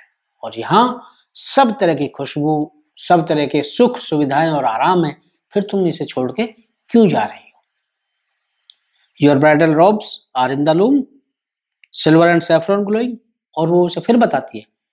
कि तुम्हारे जो वैवाहिक पोशाक है, जो दुल्हन की पोशाक है, वो करघे पर चढ़ी हुई है, हथ करघे पर चढ़ी हुई है। यानी जुलाहे तुम्हारी पोशाक तैयार कर रहे हैं। जुलाहे अब तो मशीन से होते हैं काम। पहले जुलाहे तैयार करते थे, करघासा होता था, अलग तरह की मशीनरी होती थी, उस पर तैयार होते थे। तो वो माँ बताती है कि बेटी, तेरी पोशाक बहुत प्यारी, जिसमें चांदी जैसी चमक है, केसरिया रंग है, जो प्यार का प्रतीक होता है। हम्म इतनी प्यारी पोशाक तेरी तैयार हो रही है। The bridal cakes are on the hearth और जो तुम्हारे खाने के पकवान है, शादी के जो पकवान है, जो दावतों की तैयारियाँ हो रही हैं, बहुत स्वादिष्ट खाने, भट्टियों पर तैयार हो रहे हैं, चूल्हों पर तैयार हो रहे हैं। हो विदर आर यू गोइंग? और तुम इन सबको छोड़कर जा किधर रही हो, कहाँ जा रही हो? तो फिर उसकी पुत्री, वो बिटिया जवाब देती है the bridal songs are and cradle songs have cadence of sorrow the bridal songs and the cradle songs have cadences of sorrow वो कहती है कि ये तुम्हारे वैवाहिक गीत, ये तुम्हारी लोरियाँ आखिर में दुख की धुन बन जाने वाली हैं। इन सब का जो आगे जाके परिवर्तन दुख में ही हो जाना है। वो लड़की जो कहना चाह रही है उसका मतलब ये है कि आज शादी के गीत गाए जा रहे हैं। कल जब जीवन में परेशानियाँ सामने आएँगी, पारिवारिक जीवन की जो हमारे सामने कठिनाइयाँ आएँगी, उस समय या ये जो ममता के गीत आज सुनाए जा रहे हैं, आज गाए जा रहे हैं, बच्चे को पालने में रख के पाला जा रहा है बड़े प्यार से, जब वो बड़ा हो जाएगा, उसके सामने सांसारिक परेशानियाँ आएँगी, सांसारिक संघर्ष आएँगे, उस टाइम ये सारी चीज़ें दुख में बदल जाने वाली है। ये तुम्हारी जितनी भी आज की जो खुशियाँ हैं, सूरज की खिलखिलाती धूप, ये कल दर्द भरी हवाओं में बदल जाने वाली है।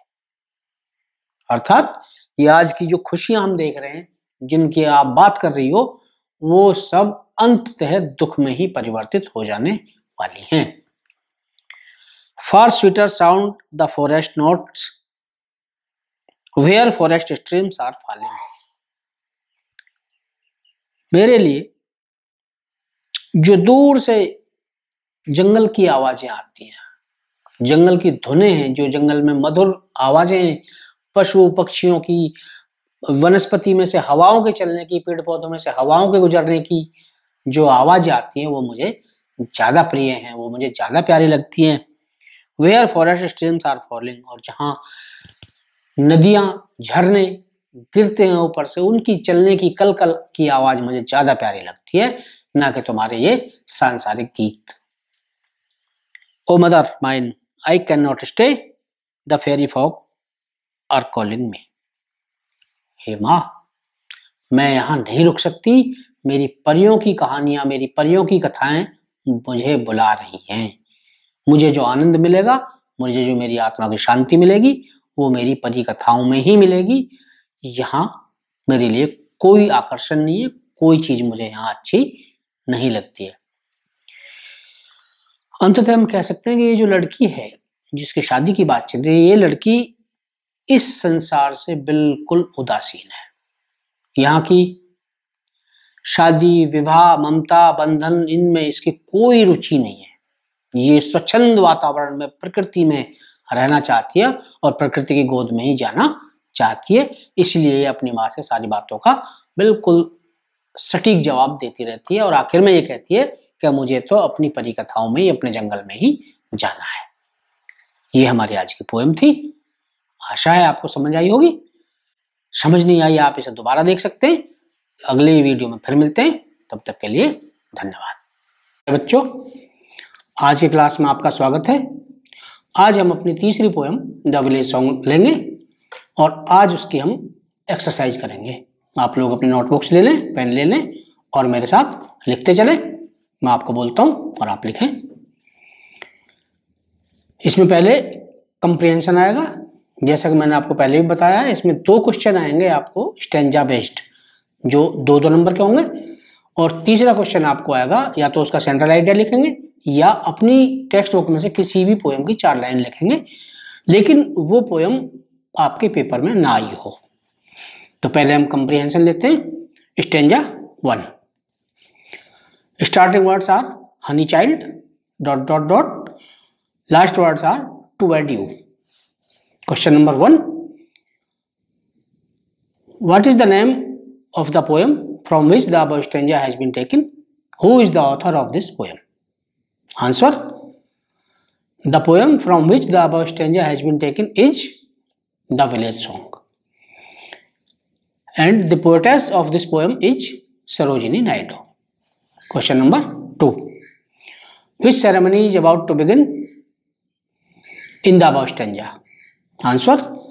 In the above the wedding ceremony is about to begin. Question number 3. What the girl's mother draws her attention for? Answer. The girl's mother draws her attention to that the bridegroom is coming on horseback to marry her. Question number 4. Point out the rhyming words in the above stanza. Answer. The rhyming words are going and blowing or you and you. Stanza to start. Starting words are mother mine and the last words are listen. Question number one. What did the daughter tells her mother? Answer. The girl tells her mother that she is going to the forest. Question number 2. Why does the girl want to go to the forest? Answer. She wants to go to the forest because the voices of the forest is calling her. Question number 3. Who is calling the girl? Answer. The voices of the fair fox and the forests. Question number 4. Where are the champa birds blowing? Answer. The champa birds are blowing on the branches of champa. Stanza 3. Starting words are honey child dot. Last words are are you going? Question number 1. What does the mother remind of the girl? Answer. The mother reminds the girl of the bridal songs, cradle songs and sandal scented leisure. Question number 2. Where are the bridal robes? Answer. The bridal robes are getting ready at the loom. Question number 3. What are the colors of the bridal robe? Answer. The colors of the bridal robe are silver and saffron. Question number 4. Point out the remaining words in the above stanza. Answer. The remaining words are pleasure and leisure or glowing and going. Stanza 4. Starting words are the bladder song. Last words are are calling. Question number 1. What type of cadences do the bridal songs and cradle songs have? Answer. The bridal songs and cradle songs have the cadences of sorrow. Question number 2. Why the girl is leaving the home? Answer. The girl is leaving the home because the voices of forest and fairy fox are calling her. Question number 3. Why can the girl not stay? Answer. She cannot stay because the fairy fox are calling her.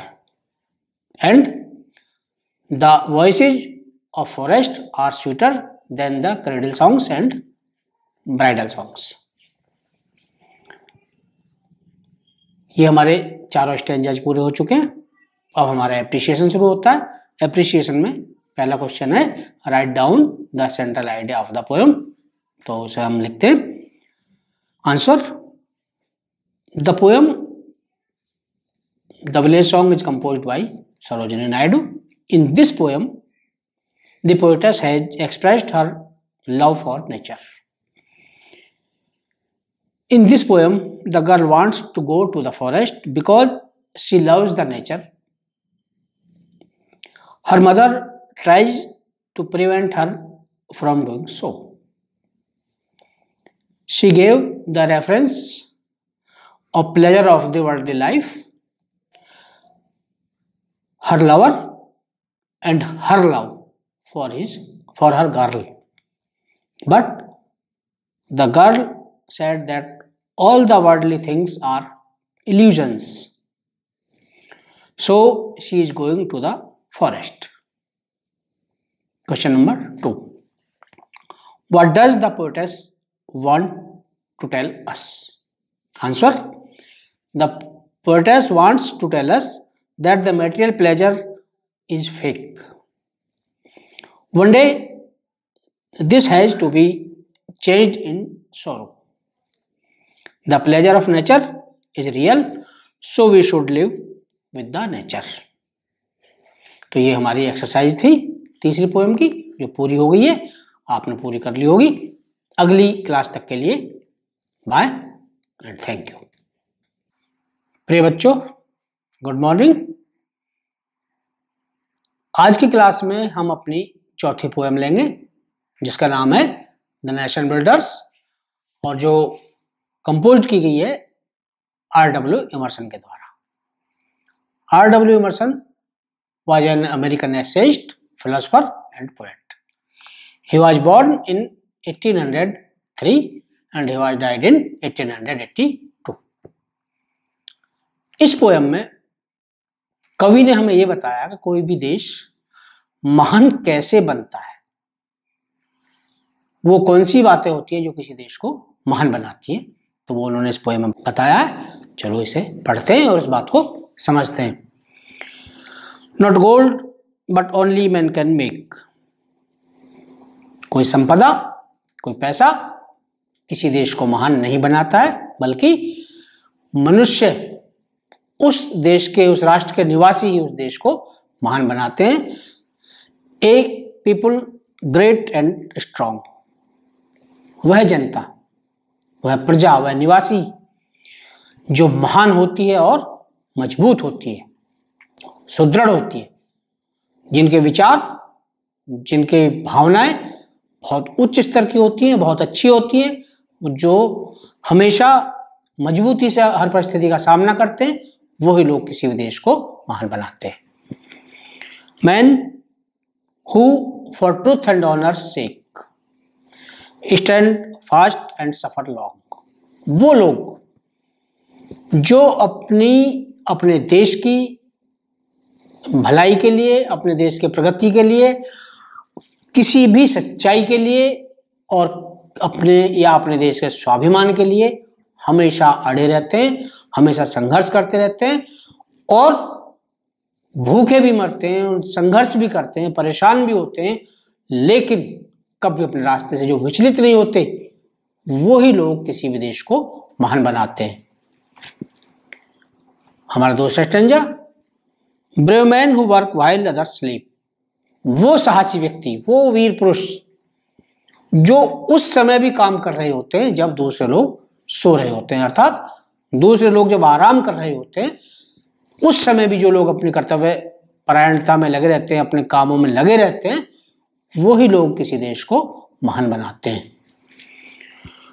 Who dare while others fly वो महान लोग, वो साहसी लोग, जो उस परिस्थिति में भी अड़ के खड़े रहते हैं, जिन परिस्थितियों में दूसरे लोग भाग जाते हैं, उनसे डर के रास्ते छोड़ देते हैं।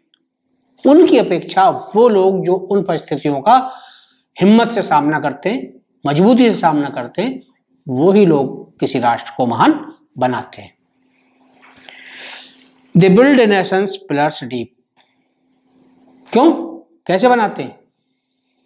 क्योंकि वो लोग जो रात दिन अपने काम में लगे लगे रहते हैं, हर परिस्थिति का सामना करते हैं, हर स्थिति में अपने देश के सम्मान के लिए अड़े रहते हैं वही लोग किसी देश की नींव को, उसके आधार को मज़बूत करते हैं, उसके जो स्तंभ होते हैं, जैसे मकान बनाते टाइम पिलर्स बनाए जाते हैं, उसी तरह जो देश के आधार है, जो देश की नींव है, उसे वो मजबूती प्रदान करते हैं और उस मज़बूत स्तंभों पर, उस मज़बूत नींव पर and lift them to the sky फिर वो अपने देश को बहुत ऊंचाई तक, बहुत प्रगति तक ले जाते हैं। यानी अगर किसी देश का आर्थिक आधार, सामाजिक आधार, वैचारिक आधार बहुत अच्छा होता है, बहुत मज़बूत होता है तो उस देश को प्रगति करने से कोई नहीं रोक सकता। जिस देश के निवासी साहसी होते हैं, कर्तव्यनिष्ठ होते हैं, सत्यपरायण होते हैं, वो ही देश महान होते हैं। यही इमर्सन हमसे कहते हैं। आशा आपको समझ में आ गया होगा। Thank you